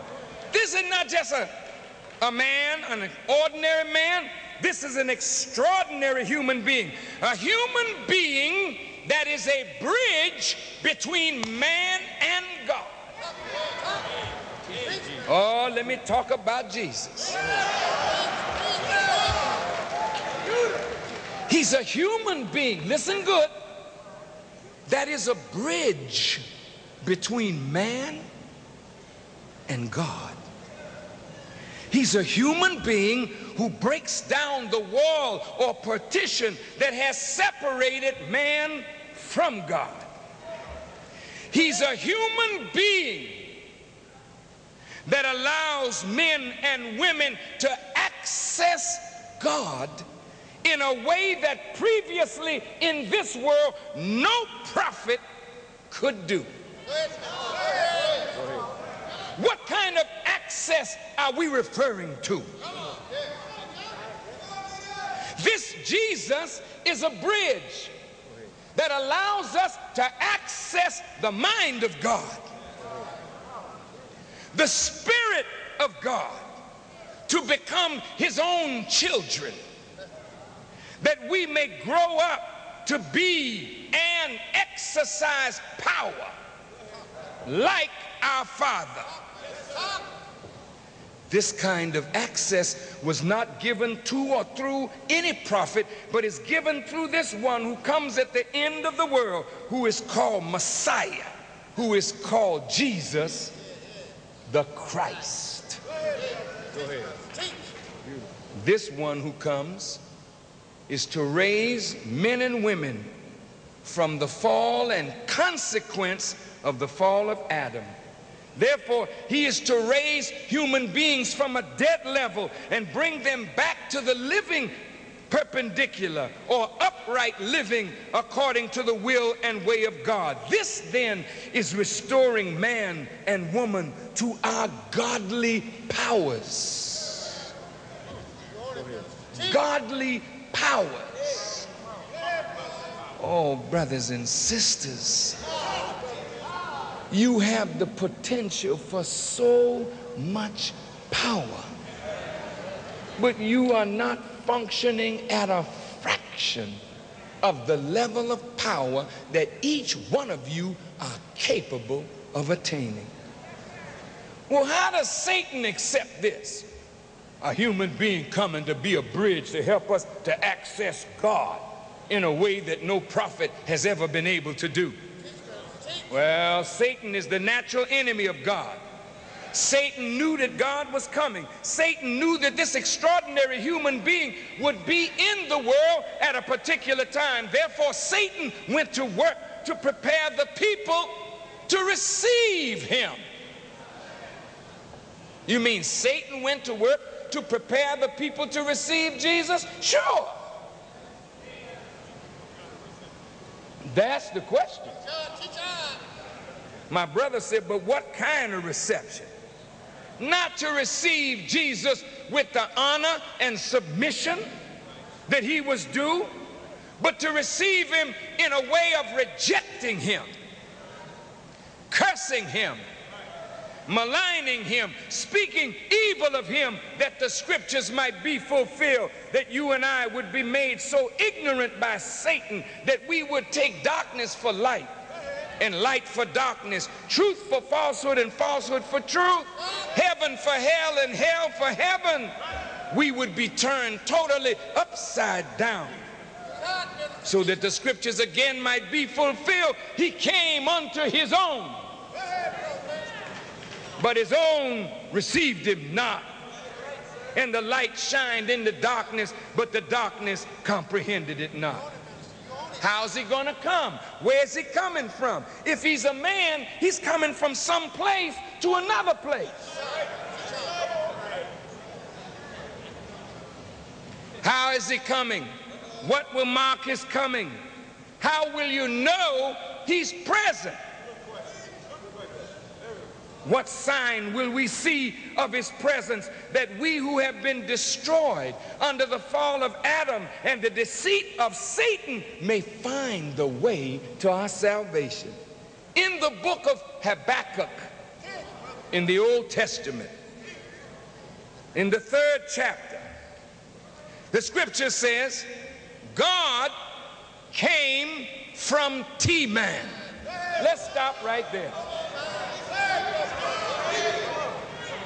Teman was one of the sons of Adah. So if God came from one of the sons of Adah, he's a man coming from a man. Therefore, he gets the name in the scripture, son of man. Let's talk about it. Then it says, and the Holy One from Mount Paran. His glory covered the heavens, and the earth was full of his praise. The Holy One came from Mount Paran, and God came from Teman then God and the Holy One are two different men. But two different men coming from two different places for two different works at two different times. Listen.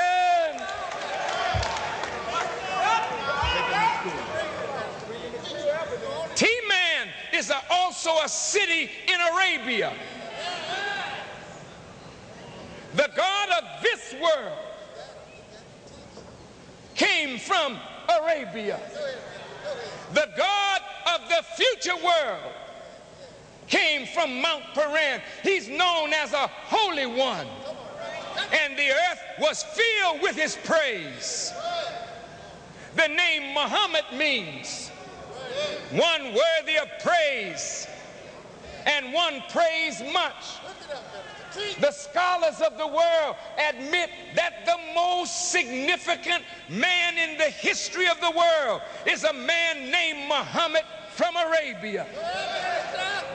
He is more significant than Galileo in the hundred most influential men of the last 6,000 years. He's more influential than Newton, According to these scholars, he's more influential than Jesus or Paul. Muhammad was the most successful of any prophet on the earth, and the earth is filled with his praise. As a sign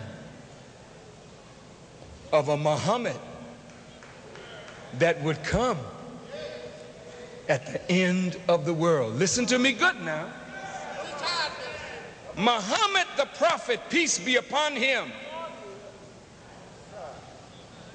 filled the earth with Islam.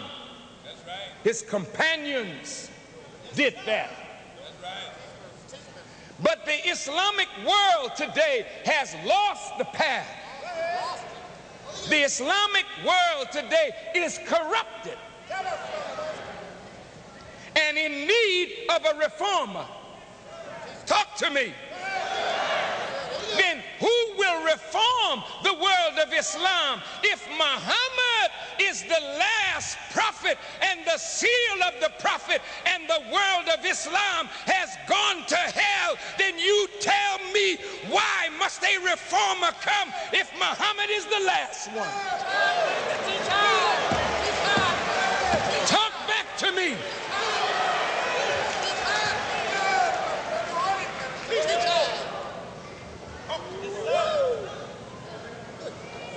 You all say Jesus of 2,000 years ago did the work. Well, why are you in the condition you're in? If you know Jesus, why aren't you doing his work in the power of that man? You are a liar. You don't know that man.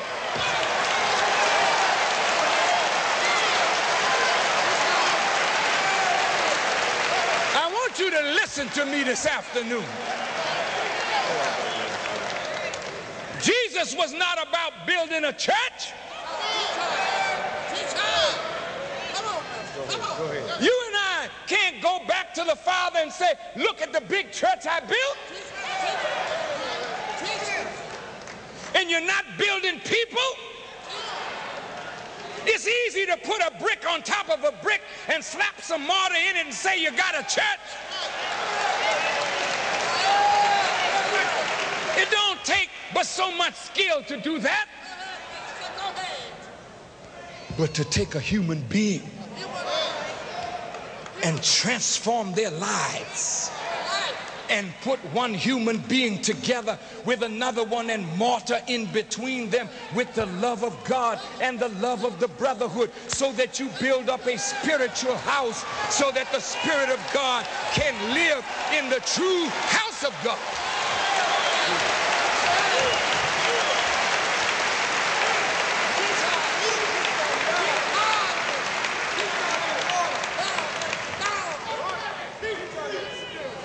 Muhammad and Jesus were a sign of one who would come at the end of the world. And his brightness was as the light. He had horns coming out of his hand, but there was the hiding of his power. Before him went the pestilence, and burning coals went at his feet. He stood and he measured the earth. He beheld and he drove asunder the nations. And the everlasting mountains were scattered. The perpetual hills did bow. His ways are everlasting. And I saw the tents of Cushan in affliction and the curtains of the land of Midian did tremble. All of this has meaning. He had power in his hands. His presence was as the light. You can't be in the presence of God or the Messiah and be in darkness. For he is the light. Jesus said, I am the light of the world. Listen, he had horns coming out of his hand. Horns represent power.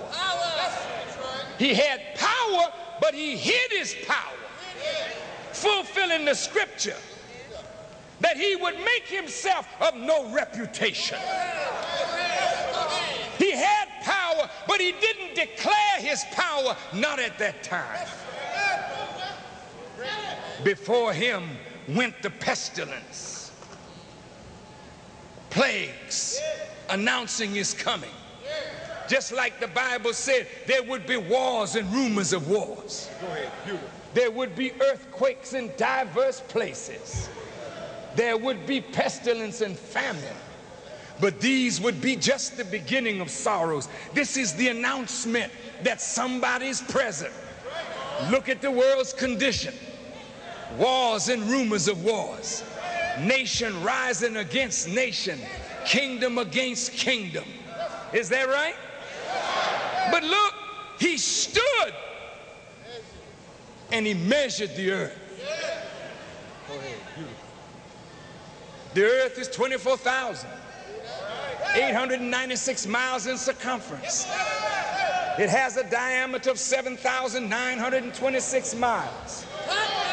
The water of the earth is 139,685,000 square miles. And the land coming up out of water is 57,255,000 square miles. He gave us the knowledge of the rivers and the seas and the lakes and the mountains. Why? How do you know this? Because he stood and he measured the earth.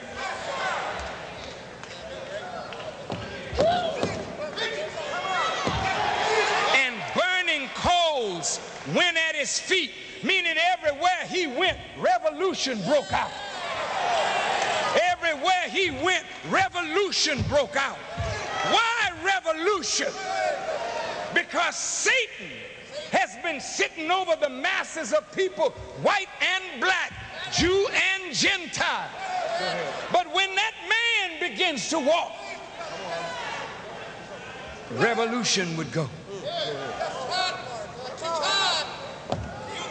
The tents of Cushan in affliction. Cush is you.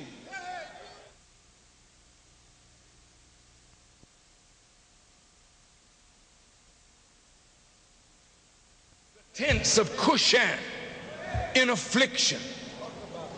Cush is you. Are you in affliction?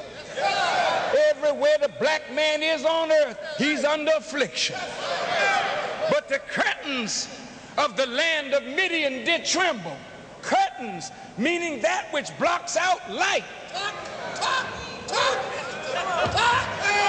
Now the people who block the light from coming, they're trembling now because Jesus, Jesus saves and he's present in the world.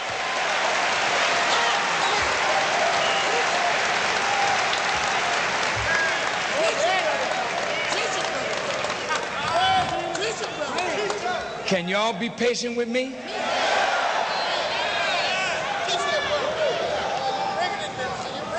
Because the subject is so deep by the grace of God. It's my 40th year. I got to preach today. If I never preach again in my life, I got to tell it today.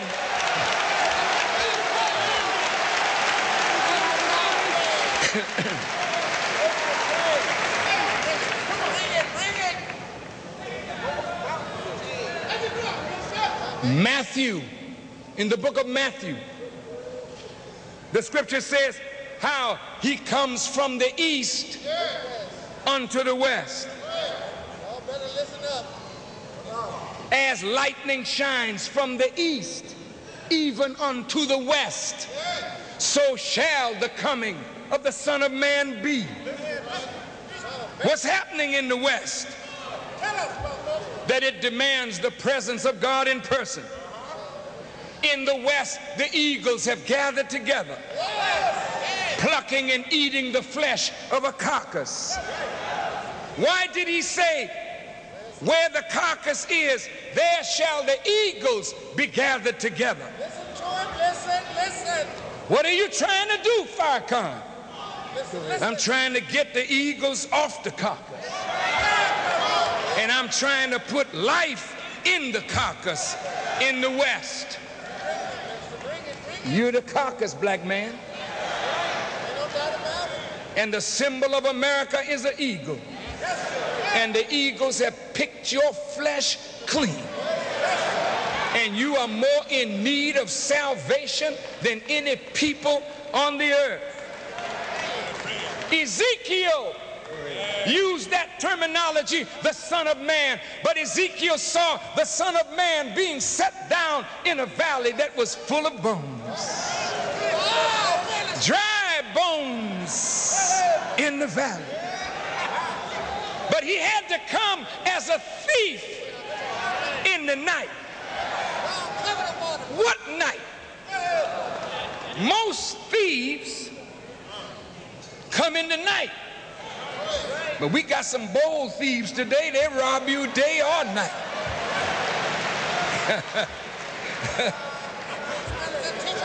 Say in the hood, we know those kind of thieves. They'll rob you while you're looking. Get out that car. Go ahead, go ahead, There was a th- time when thieves waited for night to fall. That's the time when thieves had a little cold. Well, he came like a thief in the night. What does the night mean? At a time when the wicked who ruled were not paying attention to the predictions of the prophets. They had gone to sleep on their watch. And at that time, he comes as a thief in the night to seek and to save that which was lost. Brothers and sisters, is the black man lost? Talk to me. Are we lost? Well, what do we mean lost? According to Roget's thesaurus, when a person is lost, they're unable to find their way. Go ahead. When they're lost, they're irredeemable, irreformable, irreconcilable, hopelessly wicked, beyond repair, lost. They're no longer in the possession, care, or control of someone or something, no longer known or practiced, unable to function, act, or make progress. Are we lost? Spiritually or physically destroyed, to be unsuccessful in retaining possession of. Everything you get, somebody takes it away. Why? You lost. To fail to win. How many times we gonna run for mayor and not win?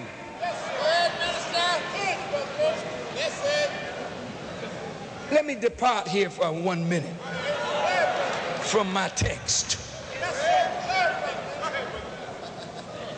Before anybody takes up that kind of challenge, you ought to not just look at the numbers, but you ought to look at your ability to excite the numbers.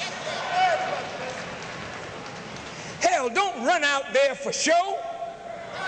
Because every time you run out and lose, you kill the spirit of the people to try again.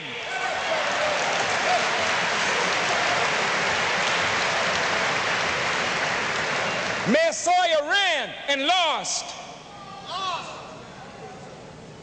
What's the other brother's name? Evans, Tim Evans ran and lost. Judge Pincham ran twice and lost. I'm not saying we don't have a chance to win, but you got to excite black people. You got to stir black people up. You'll never stir black people up if you're afraid. You'll never stir black people up if the leaders are bought off. You got to make your leaders afraid to sell you out.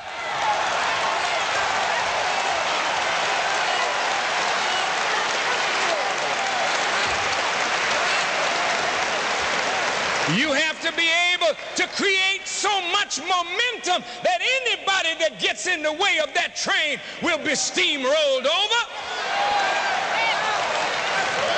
And until you have one that can do that, then damn it, stand back and cultivate the field till you're ready.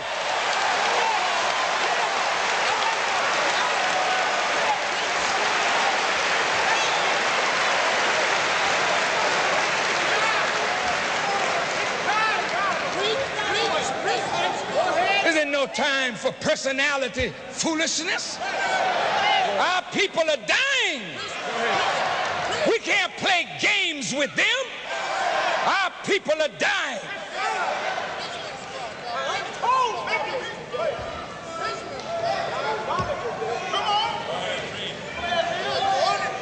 Is the white man lost?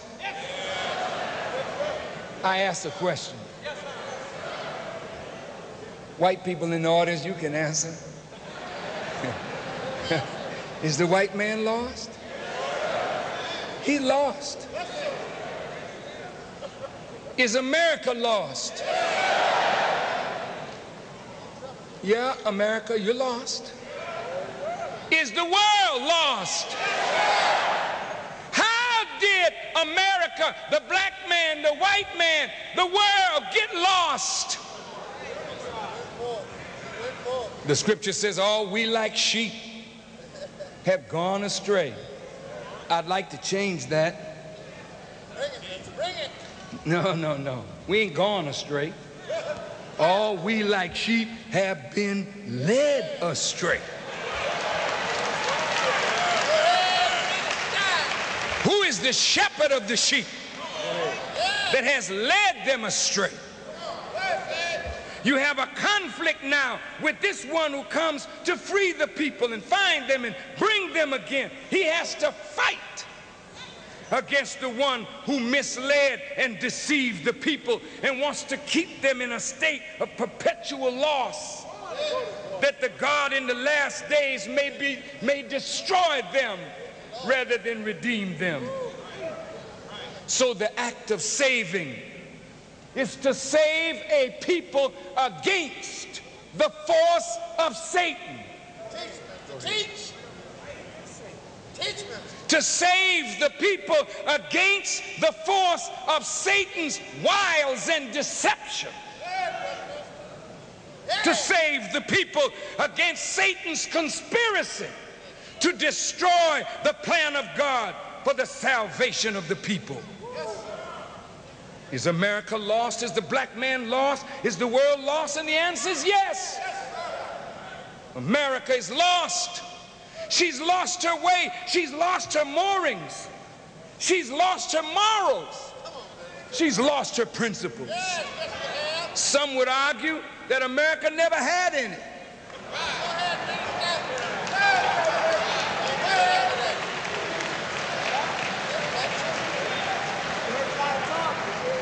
Wait. but to those who say America never had any, we could argue back. She had some.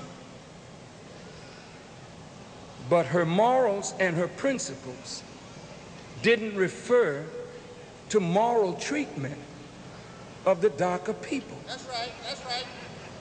America couldn't come up from nothing to where she is except that she followed certain laws, certain principles, and certain morality. She had a morality that lifted her. And she was lifted by following certain immutable principles. And she's falling now because she has deviated from those principles. Since the whole world is lost, then the whole world stands in need of salvation. So the Savior who comes must have the wisdom and the power to execute a plan, not just to save a people, but an entire world of people. If they would desire to be saved. But there has to be an instrument through which this plan of salvation is to be implemented. That instrument is considered a man and a people. He's a man taken from the despised and rejected and fitted out with a special knowledge and program that would allow him first to save a very special, particular, and peculiar people. In the plan of God's salvation, he chooses a foolish people. I know, I know, I know. If I ask white people, are you foolish? They say, not me. I run the world. Chinese are not going to admit to being foolish. Japanese are not going to admit to be foolish. What about you? You know you're a fool.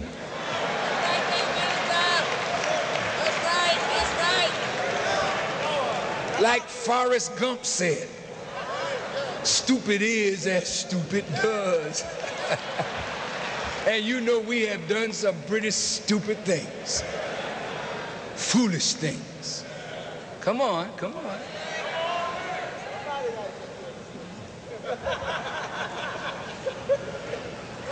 So God chooses someone or some ones who are at the bottom that he might affect their rise to the top. He chooses an instrument that is considered the least that he in his wisdom and power might make it the most. He chooses someone or someones who would be the tail that he, with his wisdom and power, may make it the head. Why would he do this? Because Satan has ruled this world, and Satan could never rule by making the true God and his way known. The only way Satan can rule is by obscuring or hiding the knowledge and the reality of the true God. So the true God in coming has to make himself known. So he allows a nation to become powerful and great like he did ancient Egypt. And in that nation, you will find a people weak and insignificant. And he chooses from among the weak and the insignificant in order to make himself known in a world that does not know him. Yes, yes, yes. Jesus saves. In Galatians, don't go to sleep. I'll take some water and throw it on you. don't go to sleep. In Galatians 4 and 4. Now you got that 44 again. Look at what Galatians says.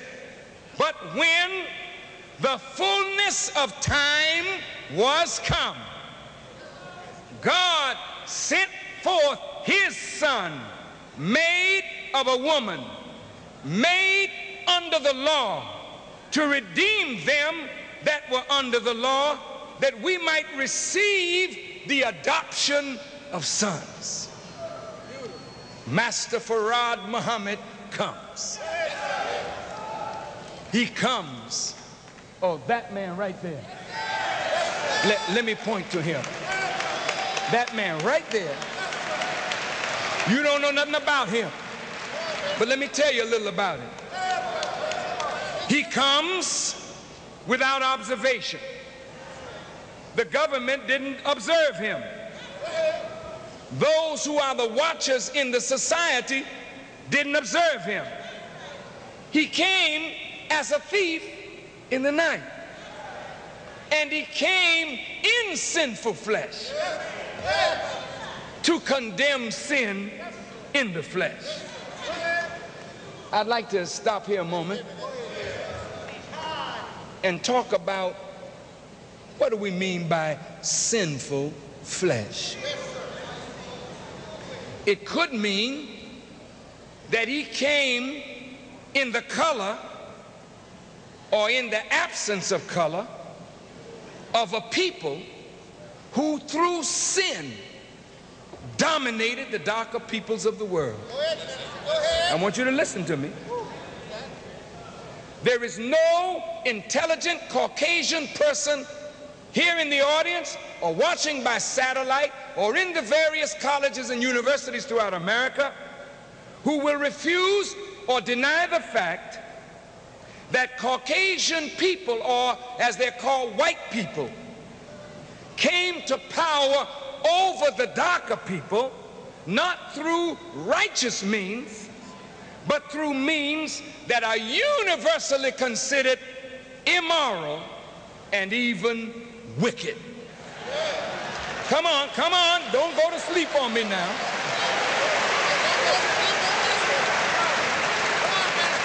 All right. Now, most white people don't like it when you make generalities. Nobody does. But in truth, the people of that particular color or absence of it are responsible for the destruction of most of, if not all of, the darker people of the world and their way. Whether you came, as you say, in the name of Jesus, that didn't make what you did right. You destroyed people in the name of Jesus. You murdered and pillaged and raped and robbed people in the name of Jesus. You deceived people in the name of Jesus. So, since this is true, coming in sinful flesh could mean he came looking like the people who had captured the people of God.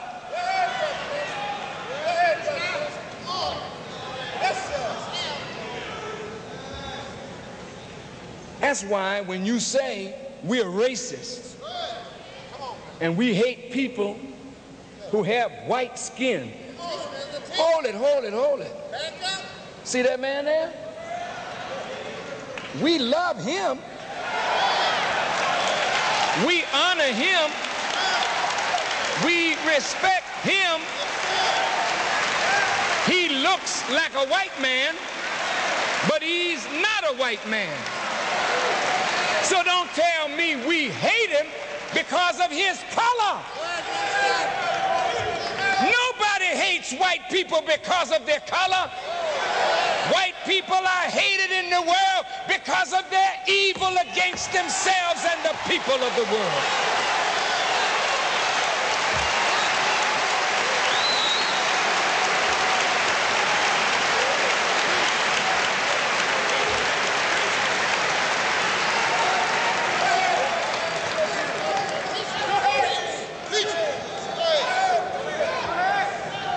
Therefore, coming in that flesh, he would be without observation.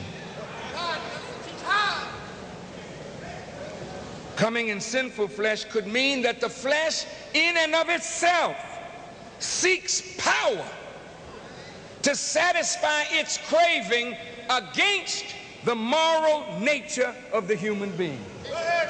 I don't want to lose none of you on anything, but if I happen to lose you or your, your conscience or your, your attention goes somewhere, be sure to get the tape. Because every word that I say today on my 40th anniversary, I am telling you where I'm going in the next few minutes. Lord, I just want you to hang with me. Coming in sinful flesh Meaning that the power, wisdom of God is now clothed in flesh. God takes on flesh as a human being. Muslims say that's wrong. Hang with me a minute, Muslims. He takes on flesh as a human being, fighting the same fight that all human beings fight to master the flesh. Now let's look at this. All Muslims are looking for the coming of Mahdi. The Mahdi is not an ordinary man. The Mahdi is an extraordinary man, but he's a human being. As a human being, the power that the Messiah and the Mahdi operate from is the living power of God. So when they function on the living power and reality and word of God, and they are in flesh, then the flesh is the clothing for the Spirit of God. Teach, teach. He comes in sinful flesh. All this sin comes from us obeying the urges of the flesh. Mastery of the flesh is the Spirit of God aroused in man to make man a master of his lower nature. He comes in the duality of the nature of man. Man has a nature that is upright, and man has a nature that is horizontal, like that of animals or beasts of the field. Bringing it. You women who don't know how to train your children,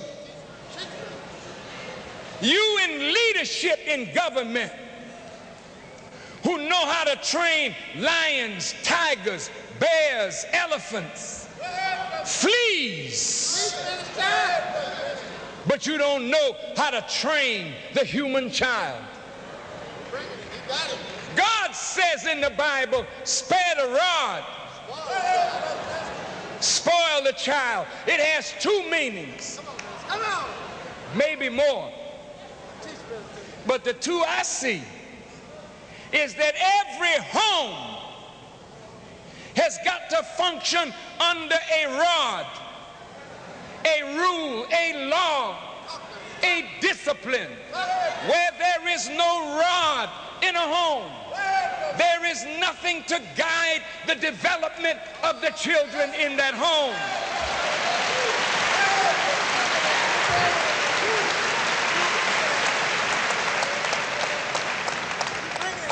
The other rod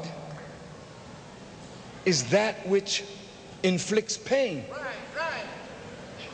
I didn't say abuse. I said pain.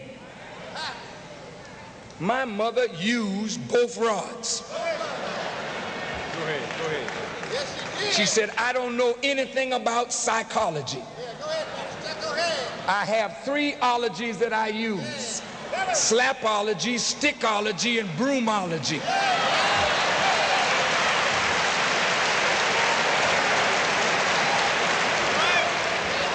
And I think I got the message. And it wasn't her mastery of Freud and Jung.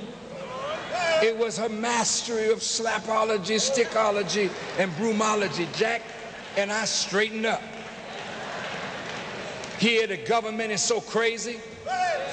You want to take away the right of a parent to discipline their children.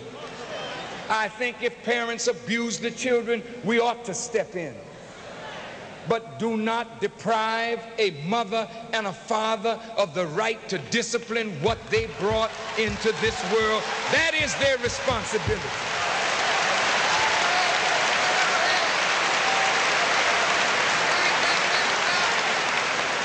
You have to train children in their early development just like you train animals.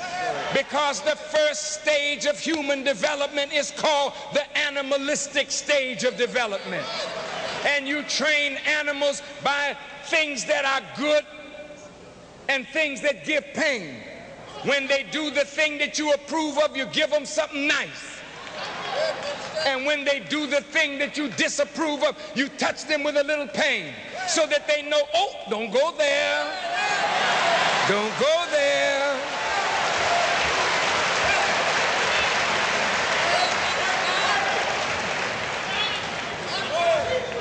But some of you, you love your children so much. Oh, I, I can't. Do that. I, I just can't hit them. Just can't hit them. It's so terrible to hit them. I'm just talking to them. Well, hell, you try talking to an animal, see if that animal understands. Children in the animalistic stage of development do not understand words. Words don't mean pain and pleasure mean. Go ahead, Witness. Go ahead. Teach, teach. When you got both those rods and you use them with wisdom, your children grow up according to the discipline of your teaching. And after a while, you can remove both rods. But the rod is now established in the child. And the child will only go so far in deviation and then pull back. Because you establish the rod well in the heart, in the mind of your child. We come into the world like animals and we grow out of an animalistic stage to a moral stage, then on to a spiritual stage if we are successful in coming out of the animal stage. Those of us, listen to me, y'all all right? Those of us who can do evil and it doesn't bother us, you're an animal. I'm going to say that again. You have human potential, but you are in fact an animal. If you can rob and lie and cheat and steal and cut and plunder without any conscience, you're an animal. And the Bible calls you a beast or one that has the mark of the beast because you think like a beast. It's in your forehead and it's in your hands in the way you work and in the way you do.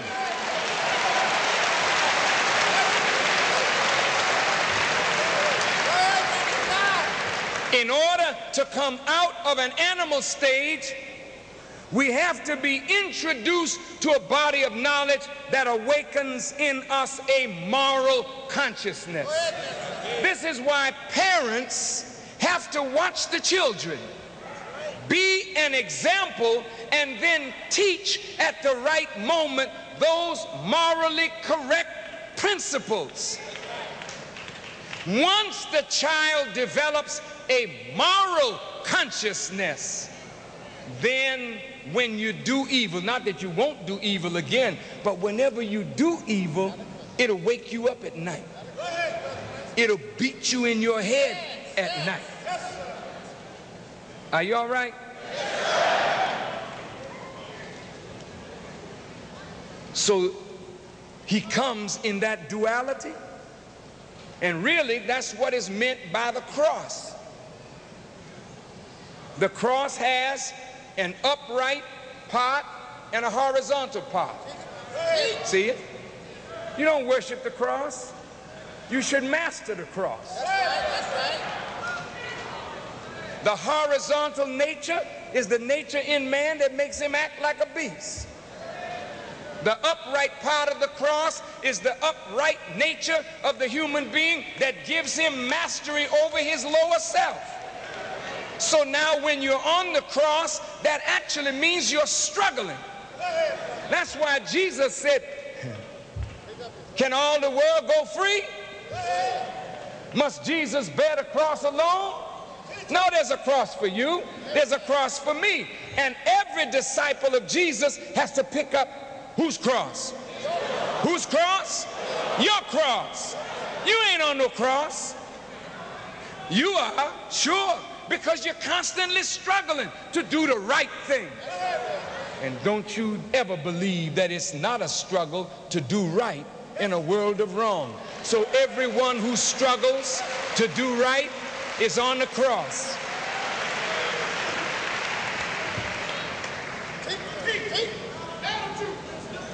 In the Quran, it asks the question, have you seen men who take their lower desires or their lower nature as a God beside God?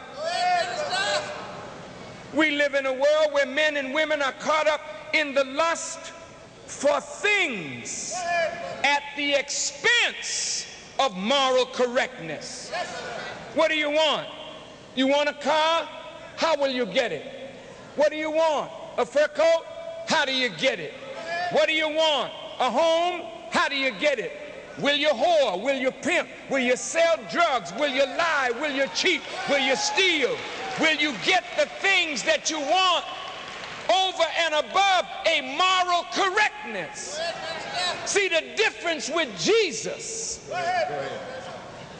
is Jesus said, seek ye first the kingdom of God and its righteousness, and all things will be added unto you. All right, now, now.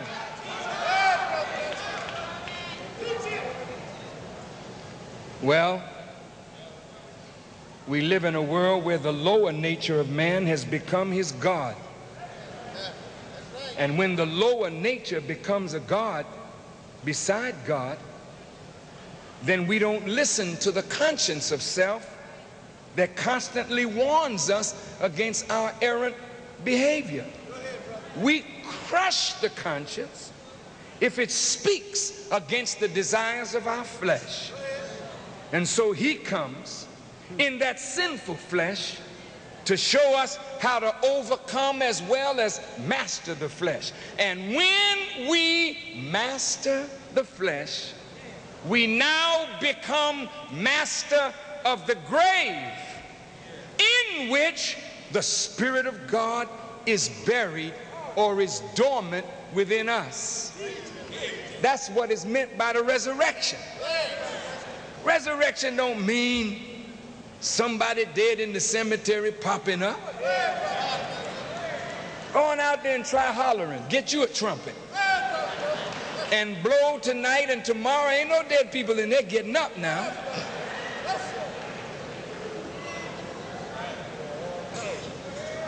Some of you don't like this. But your theology is messed up. I have to tell you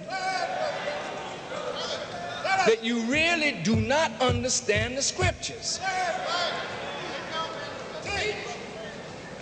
That body that you put down in the earth decomposes and goes back to the earth. That's not what the resurrection is all about. The resurrection is the trumpet of God. Gabriel, Jibril, a man of God, sounding a brassy truth that goes past the ear of opposition and then enters into the heart. And if it finds the heart a repository for itself, then the word quickens within man his true nature, which is the nature of God. Then man begins to rise up in the Spirit of God. And the Spirit of God begins to condemn his weakness, his immorality, her weakness and immorality. And when the resurrection is accomplished and man has ascended to God, then he has the power to say to his lower self, I'm in control. I know you want to exercise yourself, but I am in control. I feel lust coming on because that's a mighty fine sister, but uh, I am in control.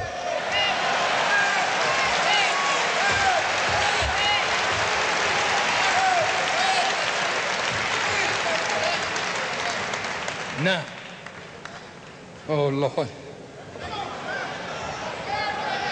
Listen, brothers and sisters, brothers and sisters, you've been so wonderful,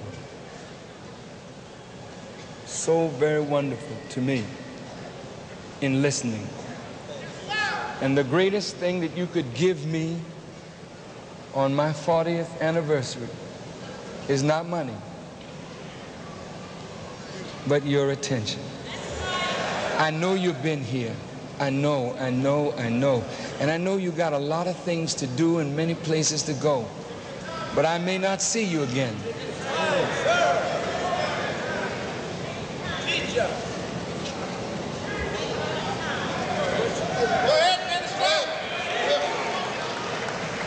I said earlier, God would come to and God would come from a particular people. The coming to is the fulfillment of all of the prophecies that God would search the earth for his sheep that were lost. And he would go after that particular one that was lost. He would come to that carcass. He would visit among the dry bones in the valley under the name Son of Man. He would come and be present among them. That's the coming to. But then the coming from means that he would find one from among those to whom he had come. And he would make that one his servant his messenger, his example to those who yet slept in ignorance. And he would pour himself into that one, then go away, leaving himself in the midst of the people in that one. So now he comes to, then he comes from. Now, the scripture said Jesus was raised from the dead. Who are the dead that he's raised from? It's you. It's me. Just as Moses was drawn out of the water, Jesus is raised from a people who are dead. And it means the knowledge, the wisdom, and the power of God is seen in the last days among a people who were considered no people at all. Why did you come out here today? Now listen to me, listen, listen. What brought you out here? You are scholars, some of you. Scientists, what made you pay $10 for a ticket? Teach us, teach us, teach us, brother. It wasn't to just look at me. Was it? You expected to hear something. This is not happening anywhere in America. No way, no way. Something is going on in America. I'm so happy to say to you, my beloved black brothers and sisters of America, that you have been chosen by the Lord of creation to render a great service first to yourself and your people and then to the entire world that is suffering and in need of redemption. You have been chosen not because you're righteous, not because you're black, not because you're good. You have been chosen because of the grace of God. And your unique suffering that was preparation and for a divine purpose to get you ready to receive a high calling, a great mission, and a great assignment from God. What is that mission? First, you have to go to the lost sheep of the house of Israel. What is the house of Israel? Where is this Israel? Who are the Jews?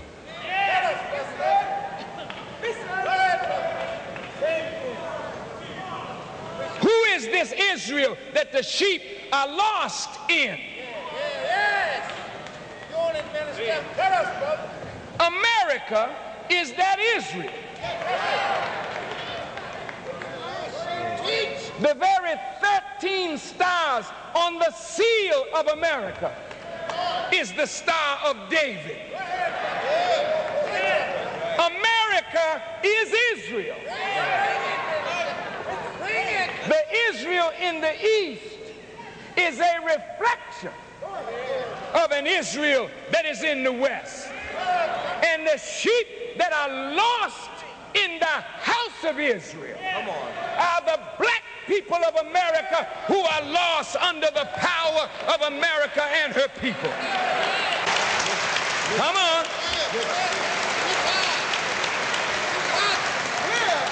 Listen, the Bible says Jacob wrestled with an angel. All night long. Jacob, listen, listen, wrestling with an angel of God. Oh, wait a minute. Wait a minute. Stop. If you are wrestling with an angel of God, you're in opposition to God. But not only did Jacob wrestle, Jacob prevailed. Wrestling with an angel. Listen, listen. Well, when you contest the angel of God, you are coming with a force and a power opposite the force and power that the angel represents. So if that angel represents God in righteousness, by what power are you contesting him? And if you wrestle with the angel until his thigh is thrown out of place, then you have prevailed. Through the night, however, you wrestle all night long. It didn't say you prevail in the day because the night was given to you.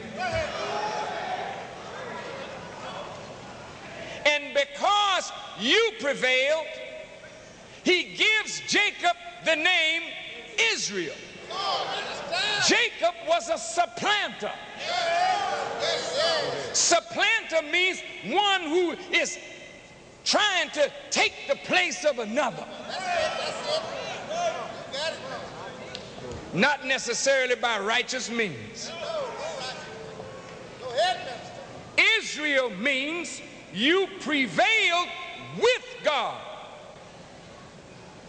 Israel could never have prevailed, or Jacob could never have prevailed, if God was not with him to prevail.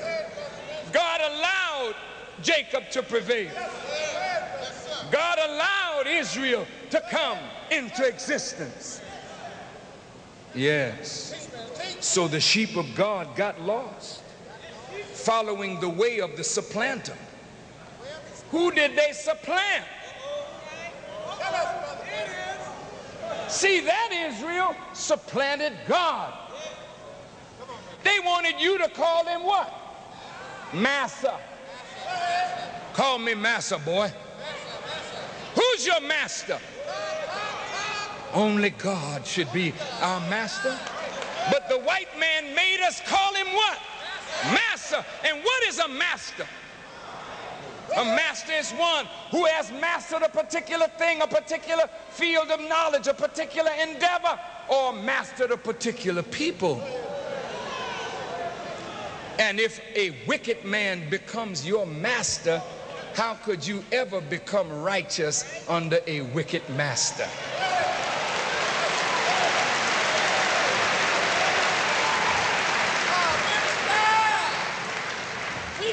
Well, there's an old saying we used to sing in the church God is going to move this wicked race and raise up a nation that will obey. That process of the meeting of Master Fard Muhammad with the Honorable Elijah Muhammad, that process brought about the formation of that which is called the Nation of Islam. What is the Nation of Islam? The Nation of Islam is a group of people committed to obedience to the will of God. Fulfilling what our father said. God will remove the wicked race, raise up a nation that will obey. A nation of obedience. You say it in Arabic, Islam. This is a unique nation. But how would this nation in this process that is delivering people from the clutches of the power of evil be accepted by the wicked one, the supplanter, the rulers of this world? If you notice, when any one of us come to the teachings of the Honorable Elijah Muhammad and accept it, the first thing you notice is a change. Nobody comes to the teaching of Elijah Muhammad and remains the same. You go to church and you join the church, but nobody necessarily notices a change. But our very appearance changes because our minds have changed. Our conduct changes because our minds have changed. Our diet changes because our minds have changed. This is not just a change, it's a transformation in our lives that is readily noticed by family and friends. Then you see those of us who accept to become a part of the Nation of Islam disciplining ourselves according to a body of knowledge that the Honorable Elijah Muhammad brought. And immediately this starts the process of salvation or rescuing us from harm or danger. We come to Elijah Muhammad drunkards, thieves, dope sellers, pimps, whores, murderers, cutthroats, haters, envious people, jealous people, knowledgeable people with no morals. And you see a profound change in our lives. Family life is restructured. Marital relations are restructured. Our homes get saved. We were reckless in the way we handle our money, but the economic principle that is taught by the Jesus causes you to live within your means and save your home economically. And since the God that we represent is not a poor God, when we follow him and submit to his teachings, he starts lifting us immediately out of poverty and want and that ignorance has placed us in. This is all a part of the plan of salvation. He inspires us with a new education, new ideas to form a new educational system. He inspires us to work for our own economic deliverance. So the whole plan of Elijah Muhammad is a program that spells salvation for the black man. Well, who should be angry with such a program? Why would the FBI want to destroy a program that is delivering black people? Why would the Anti-Defamation League want to destroy a program that's lifting black people? Why would the government of America work against such a plan that would make a people into something that their fathers destroyed? Make us whole again, make us useful again, and give us a sense of personal value. Why would the government of America fight something like that? Who would fight that? Satan would fight that. Satan would fight it because he doesn't want the people to be saved. There's a song we used to sing in the church.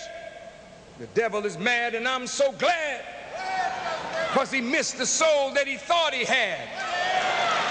Everyone who comes to Christ or comes to God and sincerely seeks to change, Satan comes after them like a roaring lion. What Satan? Go ahead. Go ahead. Who is Satan? Go ahead. I didn't say what is Satan. We know Satan is a spirit and a force that deceives, but who? Who? I ain't no owl. Who is Satan?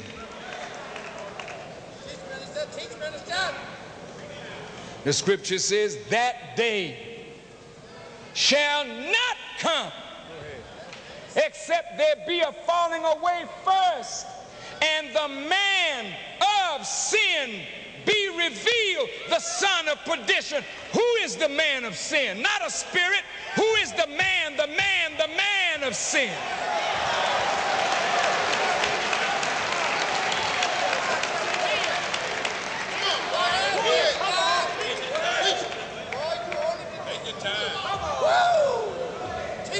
The government of America is involved in a conspiracy against the rise of not only our people, but the good that we would ultimately do for their own people and for the world. The government of America is against white people who sincerely work in the best interests of the poor. Listen up. Satan is in a conspiratorial posture towards this Jesus. Satan does not want Jesus to succeed. Satan does not want to see a true Christian, a truly righteous person, a true Muslim who wants to submit to do the will of God. Satan wants to deceive that person out of the practice of obedience. Dear Muslims, if I never see you again, I want you to hear me because I'm going to put something on your plate today that you can feed on and it will get you through a dark hour. The government is frightened. And when Farrakhan talks about leading a million men to Washington, don't you think the government is happy?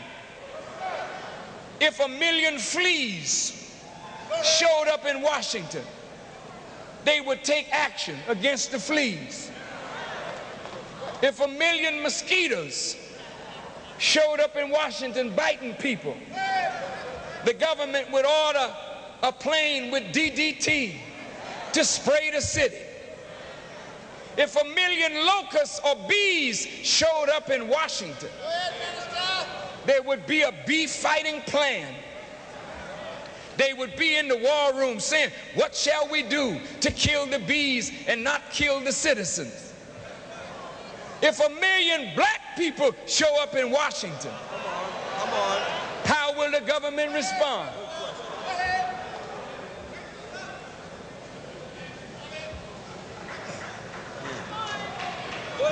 Come on. Now listen.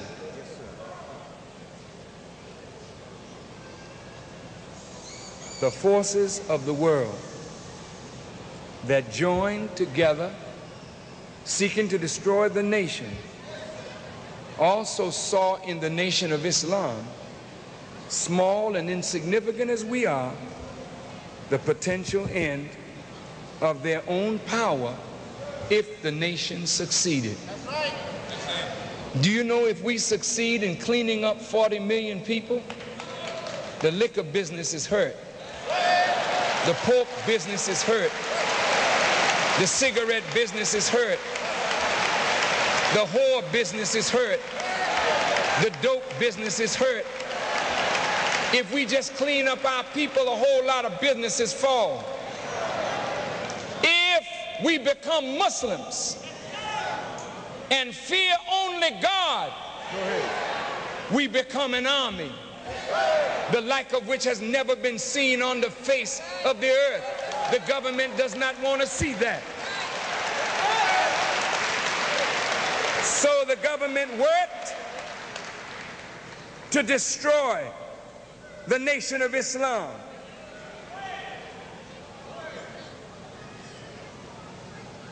When 20 years ago, when the nation took on a change, the government was happy. Talk to me. Why was the government happy? Because we weren't talking nation anymore. We weren't setting up the flag of God anymore. We had become integrationists now. We wanted to carry the flag of the persecutors and the oppressors. The government was happy They don't mind you stop smoking and drinking. Just don't come up with an idea that supplants the idea of wickedness that rules America.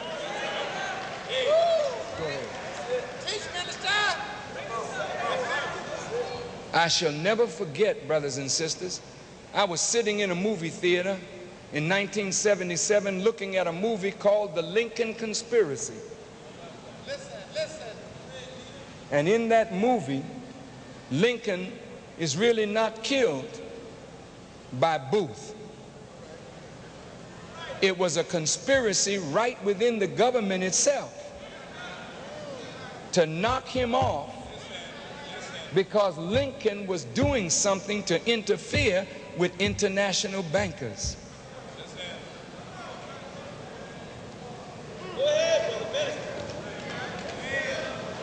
I'm sitting in the theater, and while I'm looking at the movie, in my head I hear a voice saying, Read Psalms. And in my mind I say, What Psalm? And the 83rd, a, a clicker went off and it stopped at the 83rd Psalm. So when I left the theater, I told my wife, you know, I had a strange experience. I went home, picked up this Bible, read the 83rd Psalm. Keep not thou silence. O God, hold not thy peace and be not still.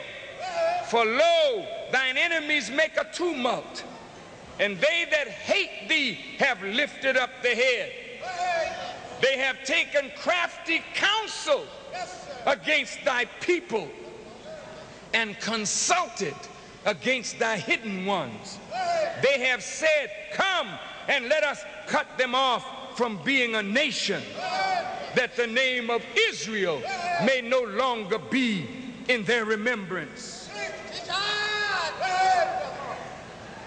There was a conspiracy to stop us from thinking of a nation, to make us want to come back and integrate with the very force of destruction of our lives. A conspiracy.